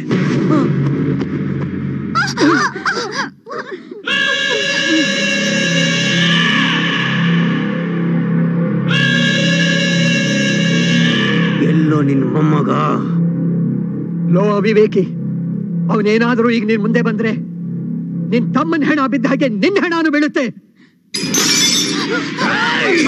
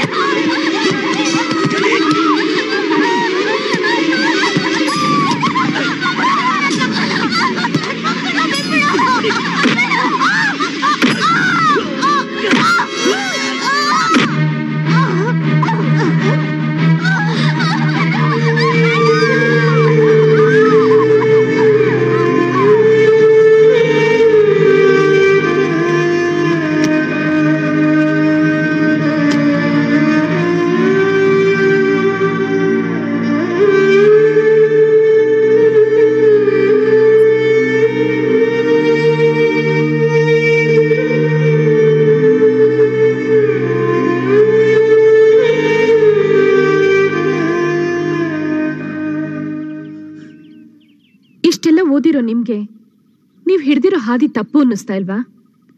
ಅಲ್ಲ ನಿಮ್ದೇನೇ ಬೇಡಿಕೆ ಇದ್ರು ಅದನ್ನ ಸಮಾಜದಲ್ಲಿ ಇದ್ಕೊಂಡೇ ಸಾಧಿಸ್ಬೇಕು. ಅದನ್ನೇ ಗಾಂಧೀಜಿ ಮಾಡಿದ್ದು. ಈಗಿನ ಕಾಲದಲ್ಲಿ ಗಾಂಧೀಜಿ ಆಗ ಹೊರಟ್ರೆ ಒಂದಲ್ಲ ಒಂದ್ ರೀತಿಲಿ ಗೋಡ್ಸೆ ಅಂತವ್ರು ಹುಟ್ಟು ಬಂದು ಗುಂಡಿಟ್ಟು ಕೊಲ್ತಾರೆ. ಅದಕ್ಕೆ ನೇತಾಜಿ ದಾರಿನೇ ಸರಿ ಅಂತ ಸೈನ್ಯ ಕಟ್ಟಿದ್ದು. ನೋ ನೀವ್ ನನ್ ಮಾತು ಕೇಳಿದ್ರೆ ನಿಮಗ್ ನ್ಯಾಯ ಸಿಗತ್ತೆ.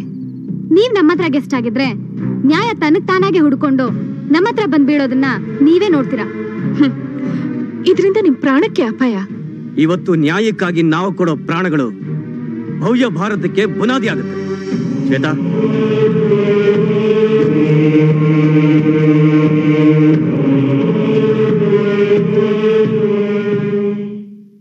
ಇದು ಹೇಗ್ ನಡೀತು?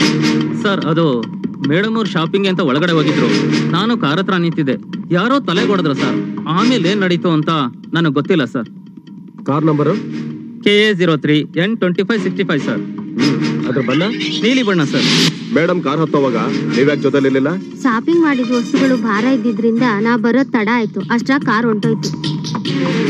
ಹಲೋ ಪೊಲೀಸ್ ಕಂಟ್ರೋಲ್ ರೂಮಾ ಸರ್ ನಾನು Muthathi forest range officer Kariappa ಮಾತಾಡ್ತಿದ್ದೀನಿ ಸರ್ ಕಾಡ್ ಹಾದಿ ಮಧ್ಯೆ ಒಂದು blue S T M car ನಿಂತಿದೆ sir. K S zero three N two five six five sir. Okay sir. Hello? Hello sir police control room Muthathi forest ಮಧ್ಯೆ ಯಾವುದೋ ಒಂದು blue Esteem car ನಿಂತಿದೆ ಅಂತೆ number? K A zero three N two five six five sir. ನೋಡಿ ನೀವು ಆ forest ಆಫೀಸರ್ನ ಕರ್ಸಿರಿ. ನಾನು ಅವ್ರನ್ನ ಕರ್ಕೊಂಡು ಗಾಡಿ ಇರೋ ಜಾಗಕ್ಕೆ ಹೋಗ್ತೇನೆ.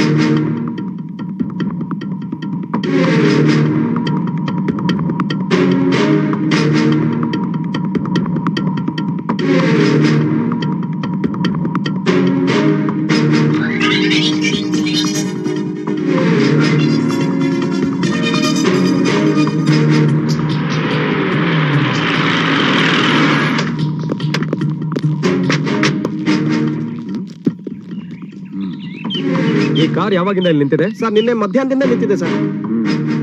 ಆದ್ರೆ ಫಾರೆಸ್ಟ್ ಒಳಗಡೆ ಯಾವ ದಿಕ್ಕಿನಿಂದ ಬಂತು ಅಂತ ಗೊತ್ತಿಲ್ಲ ಸರ್. ಐಸಿ ಇಲ್ಲಿ ಯಾವ್ದಾದ್ರು ಗುಹೆ ಅಥವಾ ಹೈಡಿಂಗ್ ಸ್ಪಾಟ್ ಅಥವಾ ಬಚ್ಚಿಟ್ಕೊಳ್ಳೋ ಜಾಗ ಏನಾದ್ರು ಇದೆಯಾ?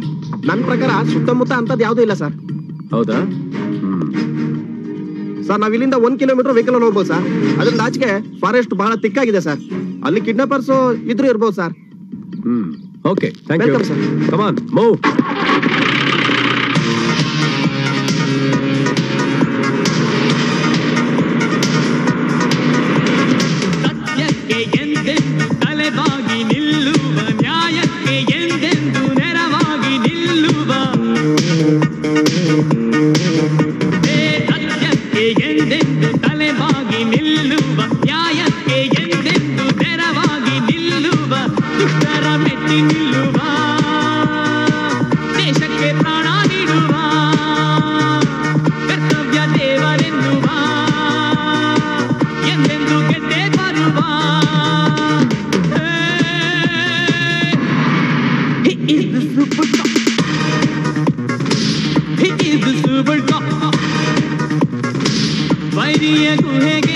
ಸಿಡಿಲಿನ ಮರಿಯಂತೆ ರೋಷದಿ ಎರಗುವ hero He is the super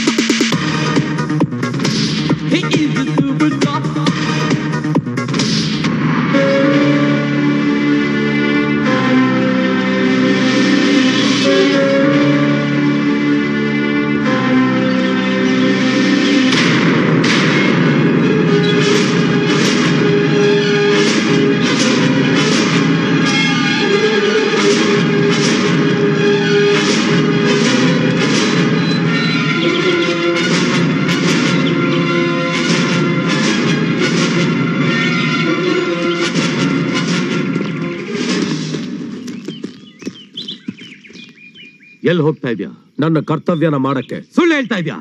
ನೀನ್ ಬಂದಿರೋದು ನನ್ನ ಹೆಂಡತಿನ ಸಾಯಿಸಕ್ಕೆ ನೋಡು ನಿನ್ ತಲೆ ತುಂಬಾ ಅದೇ ತುಂಬಿಕೊಂಡಿದೆ. ತುಂಬಿರೋದು ನಿನ್ ತಲೆಲಿ. ಯಾಕಂದ್ರೆ ನಿನ್ಗೊಂದು ಸಮಾಜದಲ್ಲಿ ಸ್ಥಾನಮಾನ ಸಿಕ್ಕಿಲ್ಲ ಅಂತ. ನಾವಿಬ್ರು ಅಣ್ಣ ತಮ್ಮಂದ್ರಾದ್ರೂ ದಾಯಾದಿಗಳು. ಆ ದ್ವೇಷನ ಸಾಧಿಸೋದಕ್ಕೆ ಈ ನಿರ್ಧಾರಕ್ಕೆ ಬಂದಿದ್ಯಾ? ನೋಡು ಸುಮ್ನೆ ಬಾಯಿ ಬಂದ ಹಾಗೆಲ್ಲ ಮಾತಾಡೋಣ ನನ್ ಮಾತ್ ಕೇಳು. ಇನ್ ಕೇಳ್ಬೇಕಾದ ಏನೂ ಇಲ್ಲ. ಅಧಿಕಾರದಲ್ಲಿ ನಾನ್ ನಿನ್ಗಿಂತ ಮೇಲಿರೋನು. ಅಂತಸ್ತಲ್ಲಿ ನಾನ್ ನಿನ್ನ ಮೀರಿಸಿರೋನು. ನೀನ್ ಏನೇ ಇದ್ರು ಸೆಕೆಂಡ್ ಗ್ರೇಡ್ ನಿನ್ ತಾಯಿನೂ ಅಷ್ಟೇ. ನಮ್ ತಂದೆಗೆ ಬರಿ ಸೆಟಪ್ ಅದು ಮರ್ಯಾದೆ ಅಂತ ಹೇಳಿದ್ರೆ. ಮರ್ಯಾದೆ ಬಿಟ್ಟು ಹೇಳಿದ್ರೆ ಶಿಸ್ just a keep of my father. ನನ್ನ ತಾಯಿ ಬಗ್ಗೆ ಇನ್ನೊಂದು ಮಾತೇನಾದ್ರೂ ಆಡಿದ್ರೆ ಅಣ್ಣ ಅನ್ನೋದನ್ನು ಮರಿಬೇಕಾಗತ್ತೆ. ಆಮೇಲೆ ನಾನು ಮನುಷ್ಯನಾಗಿರಲ್ಲ. ನೀನ್ ಈಗಲೂ ಮನುಷ್ಯ ಅಲ್ಲ. ಅದಕ್ಕೆ ಅದಕ್ಕೆ ಈ ಕೆಲ್ಸಕ್ಕೆ ಬಂದಿದ್ಯಾ? ಶಟಪ್ ನಾನ್ ಸೇರ್ ತೀರ್ಸ್ಕೋಬೇಕು ಅಂತ ತೀರ್ಮಾನ ಮಾಡಿದ್ದಿದ್ರೆ ನಿನ್ ಹೆಂಡತಿ ಐ ಮೀನ್ ನನ್ನ ಅತ್ತಿಗೆ ಮೇಲೆ ಅಲ್ಲ ನಿನ್ನ ಮೇಲೆ ತೀರ್ಸ್ಕೊಳ್ತಾ ಇದ್ದೆ. ಅದಕ್ಕೆ ಇಷ್ಟು ದಿನ ಕಾಯ್ಬೇಕಾಗಿರ್ಲಿಲ್ಲ. Just one reason and one one one one bullet understand ನೀನ್ ತಿಳ್ಕೊಂಡ್ರು ಹಾಗೆ. ನನ್ನ ತಾಯಿ ಆಗ್ಲಿ ನಾನಾಗ್ಲಿ ಸೆಕೆಂಡ್ ಗ್ರೇಡ್ ನವ್ರು ಅಲ್ವೋ? ಸತ್ಯ ಏನು ಅಂತ ಗೊತ್ತಾದ್ರೆ ನನಗಿಂತ ಹೆಚ್ಚು ನೋವು ಅನ್ಭವಿಸೋದು ನೀನು. ನಾನಾ? ಇಂಪಾಸಿಬಲ್ ಎಸ್ ಇಟ್ ಈಸ್ ಯಾಕೆ ಗೊತ್ತಾ?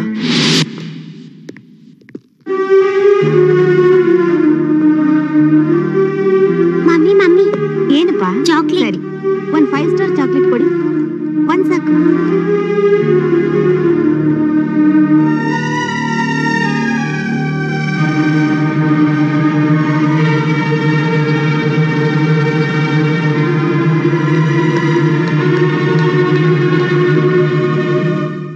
ರೀ ಇವತ್ತೆರಡರಲ್ಲಿ ಒಂದ್ ತೀರ್ಮಾನ ಆಗ್ಲೇಬೇಕು. ನಿಮಗೆ ಕಟ್ಕೊಂಡಿರೋಳು ನಾನ್ ಹೆಚ್ಚ, ಇಲ್ಲ ಇಟ್ಕೊಂಡಿರೋಳು ಅವಳ ಹೆಚ್ಚ? ನೀನು ಒಂದು ಹೆಣ್ಣಾಗಿ ಇನ್ನೊಂದು ಹೆಣ್ಣಿನ ಬಗ್ಗೆ ಇಷ್ಟೊಂದು ಕೇವಲವಾಗಿ ಮಾತಾಡೋದು ಸರಿಯಲ್ಲ. ಮಾತಾಡ್ತೀನ್ರಿ? ನಾನ್ ಮಾತಾಡಿದ್ರೆ ಅವಳನ್ನ ಬೈದ್ರೆ ಅವಳಿಗಿಂತ ಹೆಚ್ಚಾಗಿ ನಿಮ್ಗೆ ನೋವಾಗ್ತಾ ಇದೆ.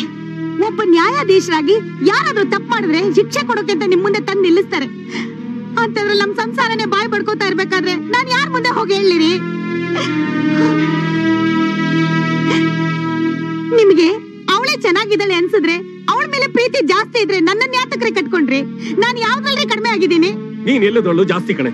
ಅದಕ್ಕೆ ನಾನು ಅವಳನ್ನ ಇಷ್ಟಪಟ್ಟಿದ್ದು. ಏನಂದ್ರಿ? ಇಷ್ಟಪಟ್ರ? ಹಾಗಾದ್ರೆ ನನ್ನನ್ನ ಯಾಕ್ರಿ ಮದ್ವೆ ಆದ್ರಿ? ಅಲ್ರಿ ಎಲ್ಲೋ ಬಿದ್ದಿದ್ ನಿಮ್ಮನ್ನ ನಮ್ಮಪ್ಪ ಅಳಿನನ್ನಾಗ್ ಮಾಡ್ಕೊಂಡು ಆಸ್ತಿ ಅಂತಸ್ತು ಎಲ್ಲಾ ಕೊಟ್ಟು ತಲೆ ಮೇಲೆ ಹೊತ್ಕೊಂಡು ಮೆರೆಸಿದ್ರು. ಇರಬಹುದು. ಆದ್ರೆ ಮನುಷ್ಯನಿಗೆ ಮುಖ್ಯವಾಗಿ ಬೇಕಾಗಿರೋದು ನೆಮ್ಮದಿ. ಅದು ಅವಳಲ್ಲಿ ಸಿಗುತ್ತೆ. ಏನಂದ್ರಿ? ನನ್ನ ಮುಂದೆನೆ ಅವಳನ್ನ ಹೊಗಳ್ತಾ ಇದ್ದೀರಾ? ನೀವ್ ಇನ್ನೊಂದು ಕ್ಷಣ ಈ ಮನೇಲಿ ಇರ್ಕೊಡ್ದು. ಇದು ನನ್ನ ಮನೆ ನಮ್ಮಪ್ಪ ಕೊಟ್ಟಿರೋ ಮನೆ. ನಡೀರಿ ಹೊರಗಡೆ. ಹುಚ್ಚಿ ಹಿಡಿದಿದ್ದೇನೆ ನಿನ್ಗೆ. ಹೌದು ಹಿಡ್ದಿದೆ. ನೋಡಿ ನಾವಿಬ್ರು ಇನ್ನು ಒಟ್ಟಿಗೆ ಇರಕ್ ಸಾಧ್ಯನೇ ಇಲ್ಲ. ನಾನು ಡೈವರ್ಸ್ ಅಪ್ಲೈ ಮಾಡ್ತಿದ್ದೀನಿ. ಏನ್ ಮಾತಾಡ್ತಾ ಇದೀಯ ಜ್ಞಾನ ಇದೆಯಾ ನಿನ್ಗೆ? ಜ್ಞಾನ ಇದ್ದಿದ್ರಿಂದಲೇ ಮನೆಗ್ ಬಂದ್ ಮಾತಾಡ್ತಾ ಇರೋದ್ರಿ. ಇಲ್ದೆ ಇದ್ದಿದ್ರೆ ಮಾರ್ಕೆಟ್ನಲ್ಲಿ ಜನಗಳ ಮುಂದೆ ನಿಮ್ಮಿಬ್ರು ಮಾನನ ಹರಾಜ್ ಹಾಕಿ ರಂಪ ಮಾಡ್ಬಿಡ್ತಿದ್ದೆ. ಎಲ್ಲ ನನ್ ಕರ್ಮ. ನೀವ್ ನನಗ್ ತಾಳಿ ಕಟ್ಟಿದಾಗ ಯಾರಾದ್ರೂ ನಾಲ್ಕು ಜನ ಗಣ್ಯ ವ್ಯಕ್ತಿಗಳು ಬಂದು ಅಕ್ಷತೆ ಕಾಳಾಕಿದ್ರ? ಅಥವಾ ರಿಜಿಸ್ಟರ್ ಆಫೀಸಿಗೆ ಬಂದು ಸೈನ್ ಮಾಡಿದ್ರ? ನಾವಿಬ್ರು ಗಂಡ ಹೆಂಡತಿ ಅಂತ. ನಮಗ್ ಮಾತ್ರ ಗೊತ್ತು. ಸಮಾಜಕ್ಕಲ್ಲ ರೀ ಸರೋಜ ಏನ್ ಹೇಳ್ತಿದ್ಯಾ? ಹೌದು ರೀ. ಹೌದು. ಊರಿಗೆ ತಿದ್ದಿ ಬುದ್ಧಿ ಹೇಳೋ ನ್ಯಾಯಾಧೀಶ್ವರು ನೀವು. ಎರಡನೇ ಮದ್ವೆ ಮಾಡ್ಕೊಳ್ಳೋದು ಅಪರಾಧ ಅಂತ. ಶಿಕ್ಷೆ ಕೊಡೋರು ನೀವು. ನಿಮ್ಗೆ ಇಬ್ರು ಹೆಂಡ್ತಿದಿರು ಅಂದ್ರೆ ಸಮಾಜದಲ್ಲಿ ನಿಮ್ಗೇನ್ ಗೌರವ ಇರುತ್ತೆ? ಏನ್ ಮರ್ಯಾದೆ ಸಿಗುತ್ತೆ? ನೋಡಿ. ಹೆಂಡತಿಯಾಗಿರೋಳು. ಗಂಡನ್ ಸೇವೆ ಮಾಡ್ಕೊಂಡಿರೋದು ಮಾತ್ರ ಮುಖ್ಯ ಅಲ್ಲ ರೀ ಅವನ ಸ್ಥಾನ ಮಾನಕ್ಕೆ ಧಕ್ಕೆ ಬರದಾಗೆ. ನೋಡ್ಕೊಳ್ಳೋದು ಕೂಡ ಮುಖ್ಯ ರೀ. ಹಾಗೆ ಅವನಿಗೂ ಸಿಗದೆ ಇರೋ ಸುಖ ಶಾಂತಿ ನೆಮ್ಮದಿ ಸಿಗೋ ಹಾಗೆ ಮಾಡೋದು ಕೂಡ ಧರ್ಮ ಅಲ್ವಾ? ನೆಮ್ಮದಿ ಇರೋ ಜಾಗದಲ್ಲಿ ಅದನ್ನ ಪಡೆಯೋ ಪ್ರಯತ್ನ ಮಾಡ್ಬೇಕೆ ಹೊರತು ಹುಡುಕೋ ಪ್ರಯತ್ನ ಮಾಡಬಾರ್ದು. ಸಿಗದೆ ಇದ್ರೆ? ನಿಮ್ಮಲ್ಲಿ ಕಾಯೋ ಸಹನೆ ಪಡೆಯೋ ಶಕ್ತಿ ಇಲ್ಲ ಅಂತ ಅರ್ಥ. ಅಲ್ಲ ಬೇಡ ರೀ. ನಿಮ್ಮ ಕೈ ಮುಗಿದ್ ಕೇಳ್ಕೊತೀನಿ. ನನ್ ಬಲವಂತ ಮಾಡ್ಬೇಡಿ. ನೀವಿಲ್ ಬರೋದ್ರಿಂದ ನಿಮ್ಗೆ ಅವಮಾನ ಆಗುತ್ತೆ. ಮನೇಲಿ ಅನಾಹುತ ನಡೆಯುತ್ತೆ. ನೋಡಿ, ನಿಮ್ಮನ್ನ ಹಂಚ್ಕೊಳಕ್ಕೆ ನಾನ್ ಸಿದ್ಧವಾಗಿದ್ದೀನಿ. ಆದ್ರೆ ಅಕ್ಕ ಅದಕ್ಕೆ ಒಪ್ಕೊಳ್ಳೋದಿಲ್ಲ. ಇರೋದನ್ನ ಕಳ್ಕೊಂಡು ಬದುಕೋಕೆ ನನಗೆ ಅಭ್ಯಾಸ ಆಗಿದೆ. ಅಕ್ಕನಿಗೆ ಅದು ಅಭ್ಯಾಸ ಇಲ್ಲ. ನೋಡಿ ನೋಡಿ. ನಮ್ಮ ಮೇಲೆ ನಿಮ್ಗೆ ಅಷ್ಟೊಂದು ಪ್ರೀತಿ ಇದ್ರೆ ನಾನು ನಿಮ್ ಮಗ ಇಬ್ರು ಚೆನ್ನಾಗಿರ್ಬೇಕು ಅಂತ ನಿಮ್ ಮನಸ್ಸಲ್ಲೇ ಆಶೀರ್ವಾದ ಮಾಡಿ ಅಷ್ಟು ಸಾಕು. ಇದೇ ನಿನ್ ಕೊನೆ ನಿರ್ಧಾರನ? ಹೌದು. ಇದೇ ನನ್ ಕೊನೆ ನಿರ್ಧಾರ. ಬೇಡ. ಬರಬೇಡಿ ನನ್ನನ್ ಮುಟ್ಬೇಡಿ. ಇನ್ನೊಂದ್ಸಲ ನಮ್ಮ ಮನೆಗೆ ಬಂದ್ರೆ ನನ್ ಕತ್ತಿನ ಮೇಲೆ ಆಡೆ ನಿಮ್ ಮಗು ಮೇಲೆ ಆಡೆ ಹೊಟ್ಟೋಗಿ ಹೊರಟೋಗಿ ಸರು Saroja.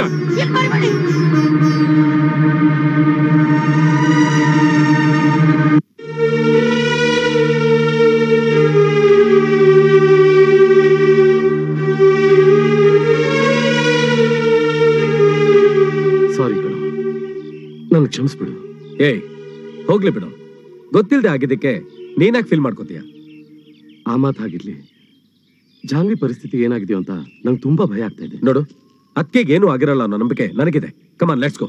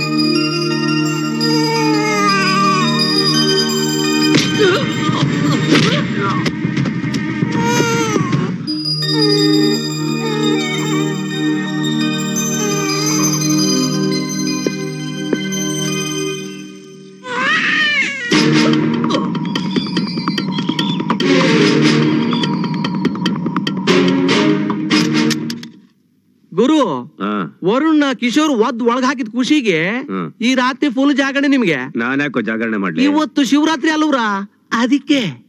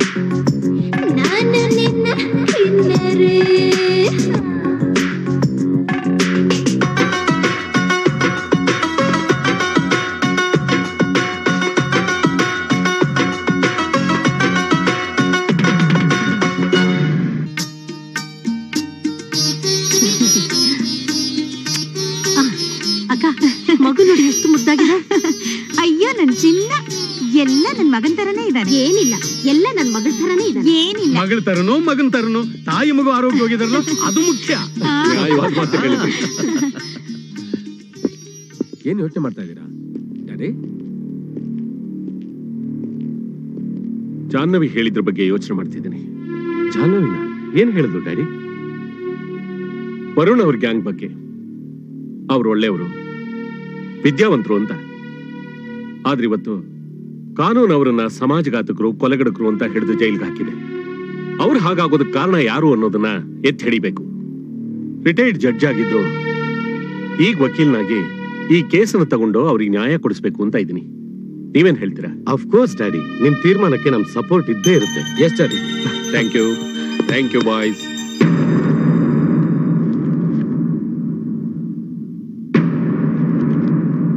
yes proceed your honour ಯುವ ಸೈನ್ಯದ ನಾಯಕ ಅನ್ಸ್ಕೊಂಡಿರೋ ಈ ವರುಣ್ ಹಾಗೂ ಈತನ ಸಂಗಡಿಗರು ಅನೇಕ ಅಮಾಯಕ ಗಣ್ಯ ವ್ಯಕ್ತಿಗಳ ಸಾವಿಗೆ ಕಾರಣರಾಗಿದ್ದಾರೆ.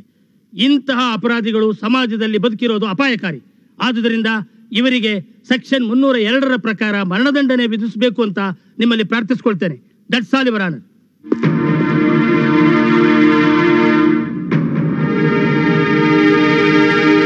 your honour ನನ್ನ ಫ್ರೆಂಡ್ ಪಬ್ಲಿಕ್ ಪ್ರಾಸಿಕ್ಯೂಟರ್ ಹೇಳಿದ್ರು ಇವರೆಲ್ಲ ಅಪರಾಧಿಗಳು ಅಂತ. First of all I would like to clarify this matter with the kind permission of this honourable court ಇವರು ಅಪರಾಧಿಗಳಲ್ಲ. ಇವರು ಆರೋಪಿಗಳಷ್ಟೇ. ಇವರು ಬದುಕಿರೋದು ಸಮಾಜಕ್ಕೆ ಅಪಾಯಕಾರಿ ಅಂತ. ಯಾಕೆಂದ್ರೆ ಇವರು ಅನೇಕ ಕೊಲೆಗಳನ್ನು ಮಾಡಿದ್ದಾರೆ ಅಂತ. ಕೊಲೆಗಳನ್ನು ಮಾಡಿಲ್ಲ. ಕೊಲೆಗಳಾಗಿವೆ. ಆದ್ರೆ ಇದಕ್ಕೆ ಯಾವುದೇ ಸರಿಯಾದ ಸಾಕ್ಷ್ಯಾಧಾರಗಳು ಇಲ್ಲ. ಒಂದು ಪಕ್ಷ ಕೊಲೆ ಮಾಡಿರೋ ವ್ಯಕ್ತಿ ಬಂದು, ನಾನೇ ಕೊಲೆ ಮಾಡಿದ್ದು ಅಂತ ಹೇಳಿದ್ರು ಕೂಡ ಅವನಿಗೆ ಶಿಕ್ಷೆ ಕೊಡೋದಕ್ಕಾಗಲ್ಲ. ಯಾಕೆಂದ್ರೆ ಕೊಲೆ ಮಾಡಿರೋ ವ್ಯಕ್ತಿ ಮಾಡಿರೋದಕ್ಕೆ ಯಾವ ಸಾಕ್ಷ್ಯಾಧಾರಗಳು ಇಲ್ಲ ಅಂದ್ರೆ ಅದು ಪ್ರೂವ್ ಆಗೋವರೆಗೂ ಅವನಿಗೆ ಶಿಕ್ಷೆ ಕೊಡೋದಕ್ಕಾಗಲ್ಲ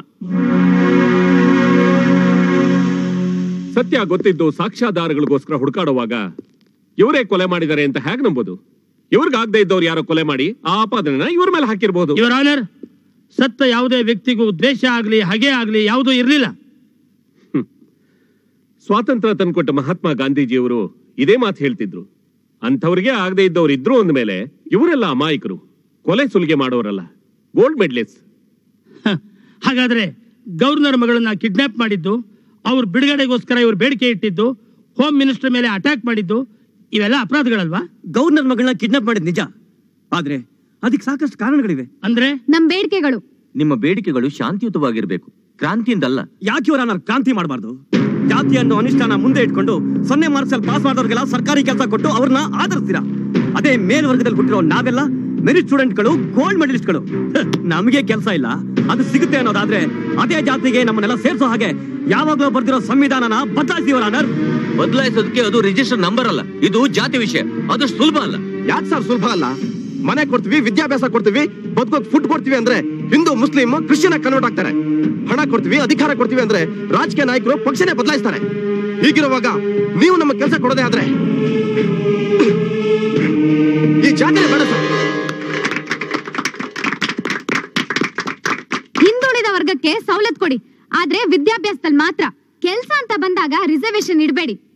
ಯಾರಿಗ ಅರ್ಹತೆ ಇದೆಯೋ ಅಂತವ್ರಿಗೆ ಕೆಲ್ಸ ಕೊಡಿ. ಆಗ ದೇಶ ಉದ್ಧಾರ ಆಗತ್ತೆ. ಸ್ವಾತಂತ್ರ್ಯ ಹೋರಾಟಗಾರ ನನ್ನ ತಾತ. ಯೋಧನಾಗಿ ದೇಶಕ್ಕೋಸ್ಕರ ಪ್ರಾಣ ತ್ಯಾಗ ಮಾಡಿದವರು ನನ್ನ ತಂದೆ, ನನ್ನ ತಾತ, ನನ್ನ ತಾಯಿ, ಅಕ್ಕ, ತಂಗಿನ ಅಮಾನುಷವಾಗಿ ಕೊಂದ ವ್ಯಕ್ತಿಗೆ ಇವತ್ತು ನಿಮ್ ಕಾನೂನು ಏನ್ ಶಿಕ್ಷೆ ಕೊಟ್ಟಿದೆ ಇವರ ಆನರ್ ಏನ್ ಶಿಕ್ಷೆ ಕೊಟ್ಟಿದೆ? ಈಗ ಅವನು ಈ ರಾಜ್ಯದ ಗೃಹ ಮಂತ್ರಿ. ಅವನು ಮಾಡಿದ ಅನಾಚಾರದಿಂದ ಇವತ್ತು ನಾನು ನನ್ನ ಸ್ನೇಹಿತರೆಲ್ಲ ಈ ಸ್ಥಿತಿಗೆ ಬಂದಿದ್ದೀವಿ. ಇವರ ಆನರ್ ನಮ್ ಕಣ್ಮುಂದೆ ಅವನಿಗೆ ಶಿಕ್ಷೆ ಕೊಡಿ. ಇಲ್ಲ, ನಮ್ಮನ್ನೆಲ್ಲ ಕ್ರಾಂತಿ ಮಾಡಿಬಿಡಿ. ಇವರ ಆನರ್ ಈ ಕೇಸಿಗೆ ಸಂಬಂಧಪಟ್ಟ ಹಾಗೆ ಜಾಹ್ನವಿ ಶರಶ್ಚಂದ್ರ ಅವ್ರನ್ನ ಕೆಲವು ಪ್ರಶ್ನೆಗಳನ್ನು ಕೇಳೋದಕ್ಕೆ ಅವಕಾಶ ಮಾಡಿಕೊಡ್ಬೇಕು ಅಂತ ಕೇಳ್ಕೊಳ್ತಾ ಇದ್ದೀನಿ. ಎಸ್ ಗ್ರಾಂಟೆಡ್ ಶ್ರೀಮತಿ ಜಾಹ್ನವಿ ಶರಶ್ಚಂದ್ರ ಅವರೇ ನಿಮ್ಮ ಮುಂದೆ ನಿಂತಿರೋ ಈ ವ್ಯಕ್ತಿಗಳು ನಿಮ್ಮನ್ನ ಕಿಡ್ನಾಪ್ ಮಾಡಿದ್ ನಿಜಾನ? ಹೌದು. ಇವ್ರ ಅಪರಾಧಿಗಳೇ ಆಗಿದ್ರೆ ನನ್ನನ್ನೇನ್ ಬೇಕಾದ್ರೂ ಮಾಡ್ಬೋದಾಗಿತ್ತು. ಬಸ್ರಿ ಆಗಿದ್ ನನ್ನನ್ನ ನನ್ನ ತವ್ರ ಮನೆಗಿಂತ ಚೆನ್ನಾಗಿ ನೋಡ್ಕೊಂಡ್ರು. ಆದ್ರೆ ಇವತ್ತು ಈ ಸಮಾಜ ಕಾನೂನು ಇವರನ್ನ ಕ್ರಿಮಿನಲ್ಸ್ ಅಂತ ಇದೆ. ಅದಕ್ಕೆ ಇವರಲ್ಲ ಕಾರಣ? ಇವ್ರಿಗಾಗಿರೋ ಅನ್ಯಾಯ. ಶಾಂತಿಯಿಂದ ನ್ಯಾಯ ಕೇಳಿದ್ರು. ಅದು ಸಿಕ್ಲಿಲ್ಲ ಅದಕ್ಕೆ ಕ್ರಾಂತಿಯಿಂದ ಕಸ್ಕೊಳ್ಳೋಕ್ ಪ್ರಯತ್ನ ಪಟ್ರು. Otherwise the very good citizens your honour ಇವ್ರಿಗಾಗಿರೋ ಅನ್ಯಾಯಕ್ಕೆ ಗೃಹ ಮಂತ್ರಿಗಳೇ ಕಾರಣ. ದಯವಿಟ್ಟು ನೀವು ಅವ್ರನ್ನ ಕರೆಸಿ, ವಿಚಾರಣೆ ನಡೆಸಿ, ಅವ್ರಿಗೆ ಶಿಕ್ಷೆ ಕೊಟ್ಟು ಇವ್ರು ನಿರಪರಾಧಿಗಳು ಅಂತ ಬಿಡುಗಡೆ ಮಾಡಬೇಕು ಅಂತ ಕೇಳ್ಕೊತಾ ಇದ್ದೀನಿ. ಮಾನ್ಯ ಗೃಹ ಮಂತ್ರಿಗಳನ್ನ ವಿಚಾರಣೆ ಕರೆಸಬೇಕು ಅಂತ ತಮ್ಮಲ್ಲಿ ಕೇಳ್ಕೊಳ್ತಾ ಇದ್ದೀನಿ. ಇದೇ ತಿಂಗಳು ಒಂಬತ್ತನೇ ತಾರೀಕಿನಂದು ಗೃಹ ಮಂತ್ರಿಗಳನ್ನ ನ್ಯಾಯಾಲಯಕ್ಕೆ ಹಾಜರುಪಡಿಸಬೇಕೆಂದು ಈ ಮೂಲಕ ಆದೇಶ ನೀಡಲಾಗಿದೆ. ಧಿಕ್ಕಾರ ಧಿಕ್ಕಾರ. ವರುಣ್ ಕುಮಾರ್. ವರುಣ್ ಕುಮಾರ್. ವರುಣ್ ಕುಮಾರ್. ವರುಣ್ ಕುಮಾರ್.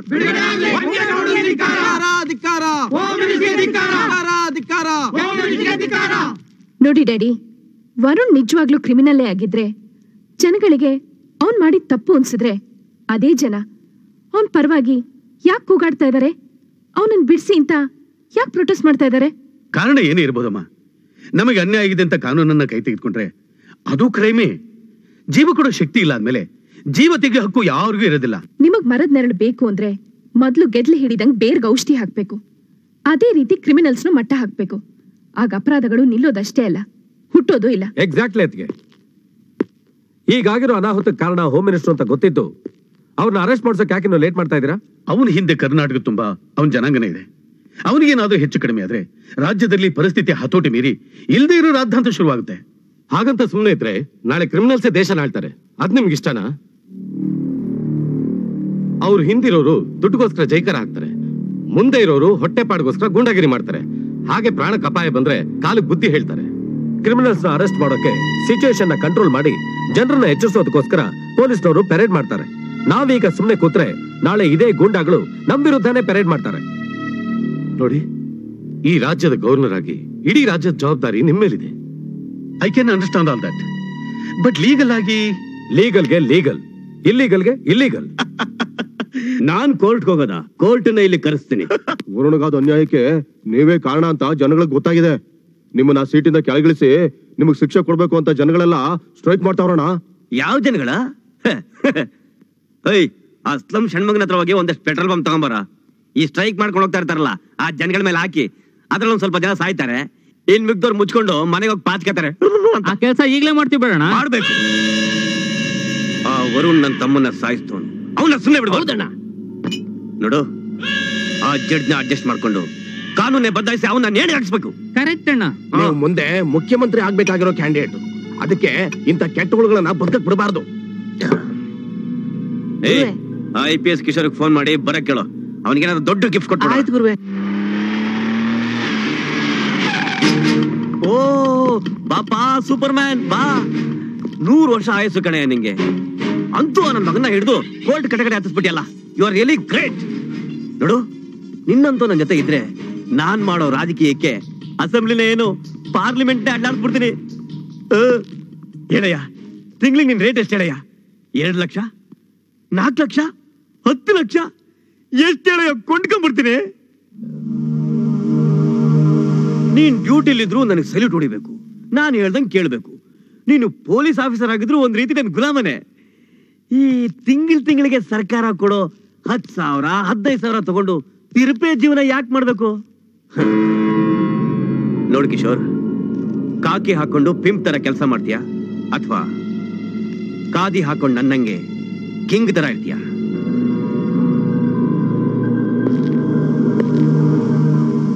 ಯೋಚನೆ ಮಾಡಿದೆ. ಒಪ್ಕೊಂಡ್ಬಿಟ್ಯಾ? ಹೌದು. ನೀನೊಬ್ಬ ಪೊಲೀಸ್ ಆಫೀಸರ್ ಆಗಿ ಹೋಮ್ ಮಿನಿಸ್ಟರ್ ಮೇಲೆ ಕೈ ಮಾಡ್ತೀಯ? ಈಗ ನಾನು ಡ್ಯೂಟಿ ಮೇಲೆ ಇಲ್ಲ. ಮೆಡಿಕಲ್ ಲೀವ್ ಅಲ್ಲಿ ಇದ್ದೀನಿ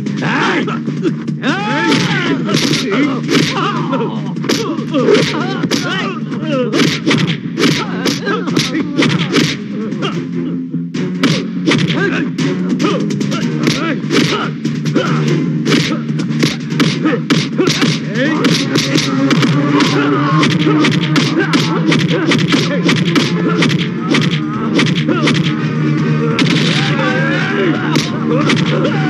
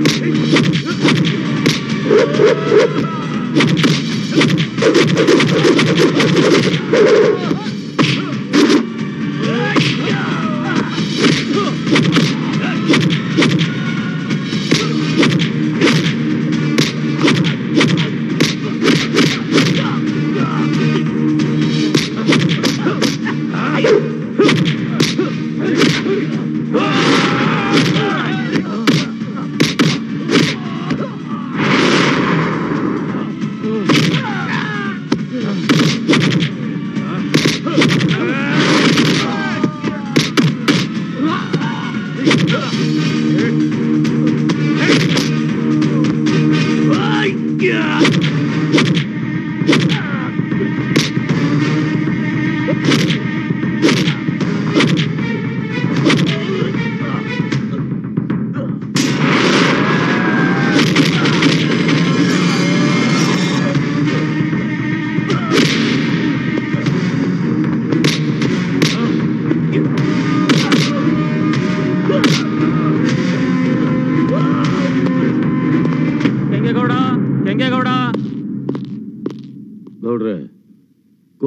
ಕರ್ಕೊಂಬರುವಾಗ ಹೊಡೆದು ಬಿಡದು ಹೇಳ್ಕೊಂಬಂದ್ವಿ ಬಂದ್ವಿ ಅಂತ ಏನಾರು ಜಜ್ ಮುಂದೆ ಹೇಳಿದ್ರೆ? ಹೇಳಿದ್ರೆ? ಹೇಳಿದ್ರೆ? ಕೋರ್ಟ್ ಇಂದ ಹೊರಗ್ ಬರ್ತಾ ಇದ್ದಂಗೆ ನಿನ್ನ ಪ್ರಾಣ ಕಚಕ್ಕ ಕೆಂಗೇಗೌಡ ಬನ್ನಿ ಕೆಂಗೇಗೌಡ ಬನ್ನಿ. ಬನ್ನಿ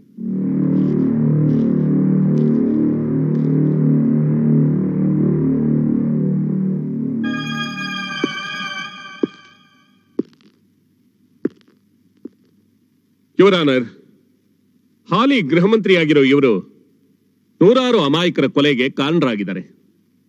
ಇಂಥವ್ರಿಗೆ ಶಿಕ್ಷೆ ಆಗಲಿಲ್ಲ ಅಂದ್ರೆ ಒಳ್ಳೇದಕ್ಕೆ ಬೆಲೆನೇ ಇರೋದಿಲ್ಲ. ಆದ್ರಿಂದ ಇವರಿಗೆ ಕಠಿಣವಾದ ಶಿಕ್ಷೆ ಕೊಡಬೇಕು ಅಂತ ಕೇಳ್ಕೊತಿದ್ದೀನಿ. ಐ ಅಬ್ಜೆಕ್ಟ್ ಯುವರ್ ಆನರ್ ಇದೇ ಮಾತನ್ನ ನಾನು ಕೇಳಿದಾಗ ಇವರು ಸಾಕ್ಷಿ ಇದೆಯಾ ಅಂತಂದ್ರು. ಈಗ ಅದೇ ಮಾತನ್ನ ನಾನು ಇವರನ್ನ ಕೇಳೋದಕ್ಕೆ ಇಷ್ಟಪಡ್ತೀನಿ. ಗೃಹ ಮಂತ್ರಿಗಳು ಮಾಡಿರೋ ಅಪರಾಧಕ್ಕೆ ಸಾಕ್ಷಿ ಇದೆಯಾ? ಇದೆ. ಯುವರ್ ಆನರ್ ತಾವು ಒಂದು ಸಾಕ್ಷಿನ ವಿಚಾರಣೆ ಮಾಡೋದಕ್ಕೆ ಅನುಮತಿ ಕೊಡಬೇಕು. ಹೆಸರು ವಿಜಯ. ಎಸ್ ಗ್ರಾಂಟೆಡ್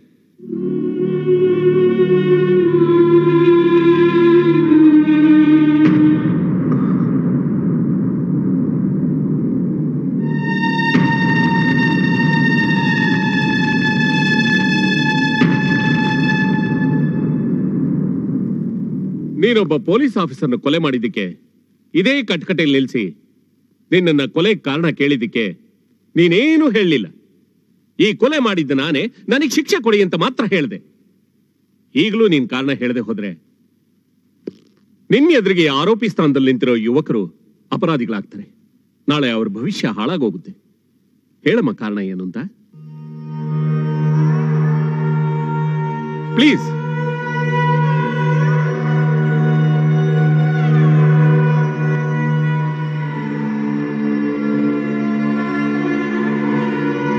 ಹೇಳಮ್ಮ.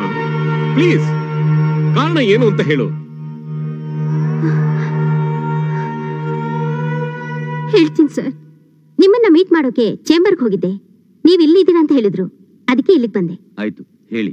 ಇವತ್ತು ಡ್ಯೂಟಿ ರಿಪೋರ್ಟ್ ಮಾಡ್ಕೊಳ್ತಾ ಇದ್ದೀನಿ. ವೆರಿ ಗುಡ್ ನೋಡಿ ಕರ್ತವ್ಯಕ್ಕೆ ಪ್ರಾಮಾಣಿಕತೆಗೆ ನಿಷ್ಠೆಯಿಂದ ಇರೋರೆ ನಿಜವಾದ ಪೊಲೀಸ್ನವರು. ತುಂಬಾ ಆಸೆ ಪಟ್ಟು ನಾನು ಈ ವೃತ್ತಿನ ಸೆಲೆಕ್ಟ್ ಮಾಡ್ಕೊಂಡಿದ್ದೀನಿ. ನಾನು ಯಾವತ್ತೂ ಕರ್ತವ್ಯಕ್ಕೆ ದ್ರೋಹ ಬಗೆಯಲ್ಲ ಸರ್. ಆ, ಹಾಗೆ ನನ್ನ ಆಸೆನು ನಿರಾಶೆ ಮಾಡಬಾರ್ದು. ಅಂದ್ರೆ? ಅಂದ್ರೆ ನಮಗ್ ಕಾಪರೇಟ್ ಮಾಡ್ಬೇಕು ಅಂತಾನೆ ನಿನ್ನಂತ ಬ್ಯೂಟಿನ ಎಸ್ ಐ ಎಕ್ ಸಿಲೆಕ್ಟ್ ಮಾಡಿ ಅಪಾಯಿಂಟ್ಮೆಂಟ್ ಕೊಡ್ಸಿದ್ದು.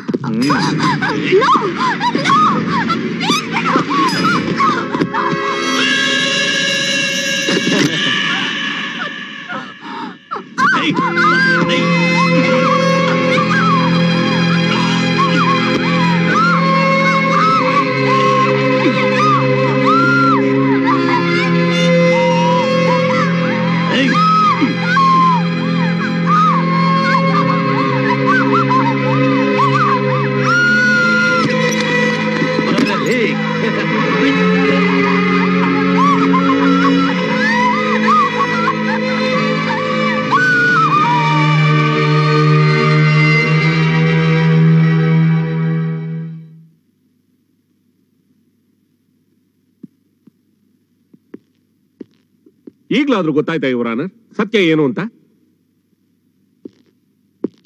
ವಾದ ವಿವಾದಗಳನ್ನು ಪರಿಶೀಲಿಸಿದ ನಂತರ ವರುಣ್ ಕುಮಾರ್ ಹಾಗೂ ಸಂಗಡಿಗರು ಮಾಡಿದ ಕೊಲೆಗೆ ಯಾವುದೇ ಸಾಕ್ಷ್ಯಾಧಾರಗಳು ಇಲ್ಲದ ಕಾರಣ ಇವರನ್ನು ನಿರಪರಾಧಿಗಳೆಂದು ಪರಿಗಣಿಸಲಾಗಿದೆ. ಇವರು ಗವರ್ನರ್ ಮಗಳನ್ನು ಅಪಹರಿಸಿದ ಕಾರಣ ಇವರಿಗೆ ಎರಡು ವರ್ಷಗಳ ಕಾರಾಗೃಹ ಶಿಕ್ಷೆಯನ್ನು ವಿಧಿಸಲಾಗಿದೆ. ಇವರು ಶಿಕ್ಷೆಯನ್ನು ಅನುಭವಿಸಿ ಹೊರಗೆ ಬಂದಾಗ ಇವರ ಕ್ವಾಲಿಫಿಕೇಶನ್ಗೆ ಅನುಗುಣವಾಗಿ ಸರ್ಕಾರಿ ಕೆಲಸವನ್ನು ಕೊಡತಕ್ಕದ್ದು. ಹಾಗೂ ಗೃಹ ಮಂತ್ರಿಗಳನ್ನ ಪದವಿಯಿಂದ ಉಚ್ಚಾಟನೆಗೊಳಿಸಿ ಎಂಟು ವರ್ಷಗಳ ಕಠಿಣ ಶಿಕ್ಷೆ ವಿಧಿಸಲಾಗಿದೆ.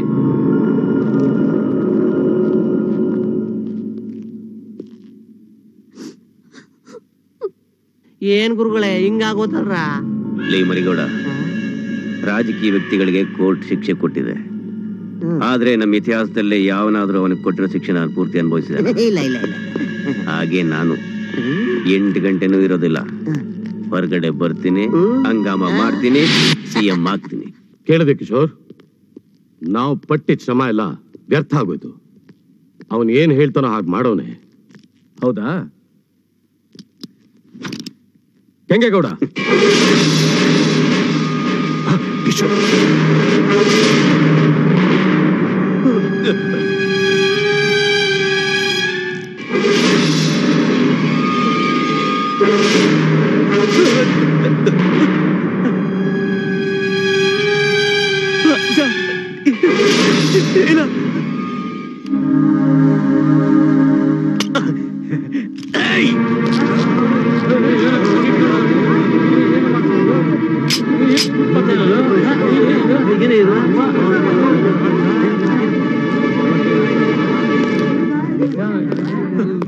ನೋಡಿದ್ರೇನ್ರಪ್ಪ ನೋಡಿದ್ರ?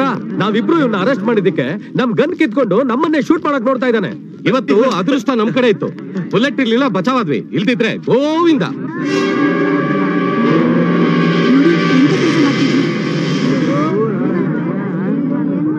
ನೋಡಿ, ನಾವು ಸಾಯೋಕ್ ಹೆದ್ರವ್ರಲ್ಲ ಆದ್ರೆ ಒಬ್ಬ ಒಳ್ಳೆಯವನ್ ಕೇಳಿ ಸತ್ರೆ ನಮ್ಮ ಜನ್ಮ ಸಾರ್ಥಕ ಆಗತ್ತೆ. ಬೇಕಾದ್ರೆ ನೀವು ನೀವು ನಮ್ಮನ್ನ ಕೊಲ್ಲಿ. ಆದ್ರೆ ಇವನ್ ಯಾರು? ಒಬ್ಬ ಕೊಲೆಗಾರ. ಇವನ್ ಕೈಯಿಂದ ನಿಮ್ಮನ್ನ ಕಾಪಾಡೋದೇ ನಮ್ಮ ಉದ್ದೇಶ. ಹಾಗಂತ ಸುಮ್ನಿದ್ರೆ ಇವತ್ತು ಇವ್ ನಮ್ಮನ್ ಕೊಲ್ತಾನೆ, ನಾಳೆ ಸಾಕ್ಷಿ ಹೇಳ್ದವ್ನ ಕೊಲ್ತಾನೆ ಇವ್ರನ್ನೆಲ್ಲಾದ್ರೂ ಕೊಲ್ತಾನೆ. ಆಮೇಲೆ ಇಡೀ ಸಮಾಜನೇ ಕೊಲ್ತಾನೆ. ಹಾಗಾದ್ರೆ ನಾವು ಬಾಳೋದೆಲ್ಲಿ ಸಮಾಜದಲ್ಲ ಇಲ್ಲ ಸ್ಮಶಾನದಲ್ಲ? ಹೇಳಿ.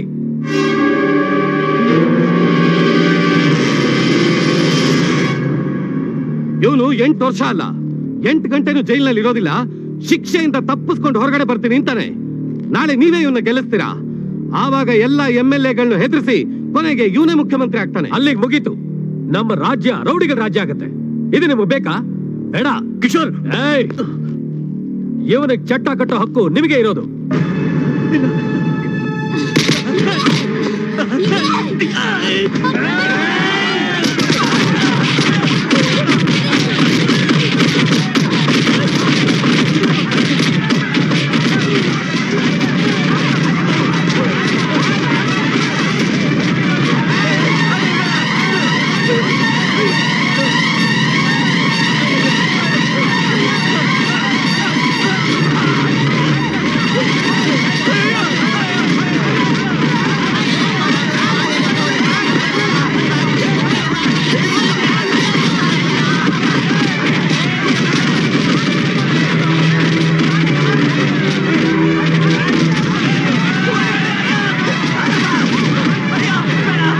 ಪಬ್ಲಿಕ್ ಪವರ್ ಏನು ಅಂತ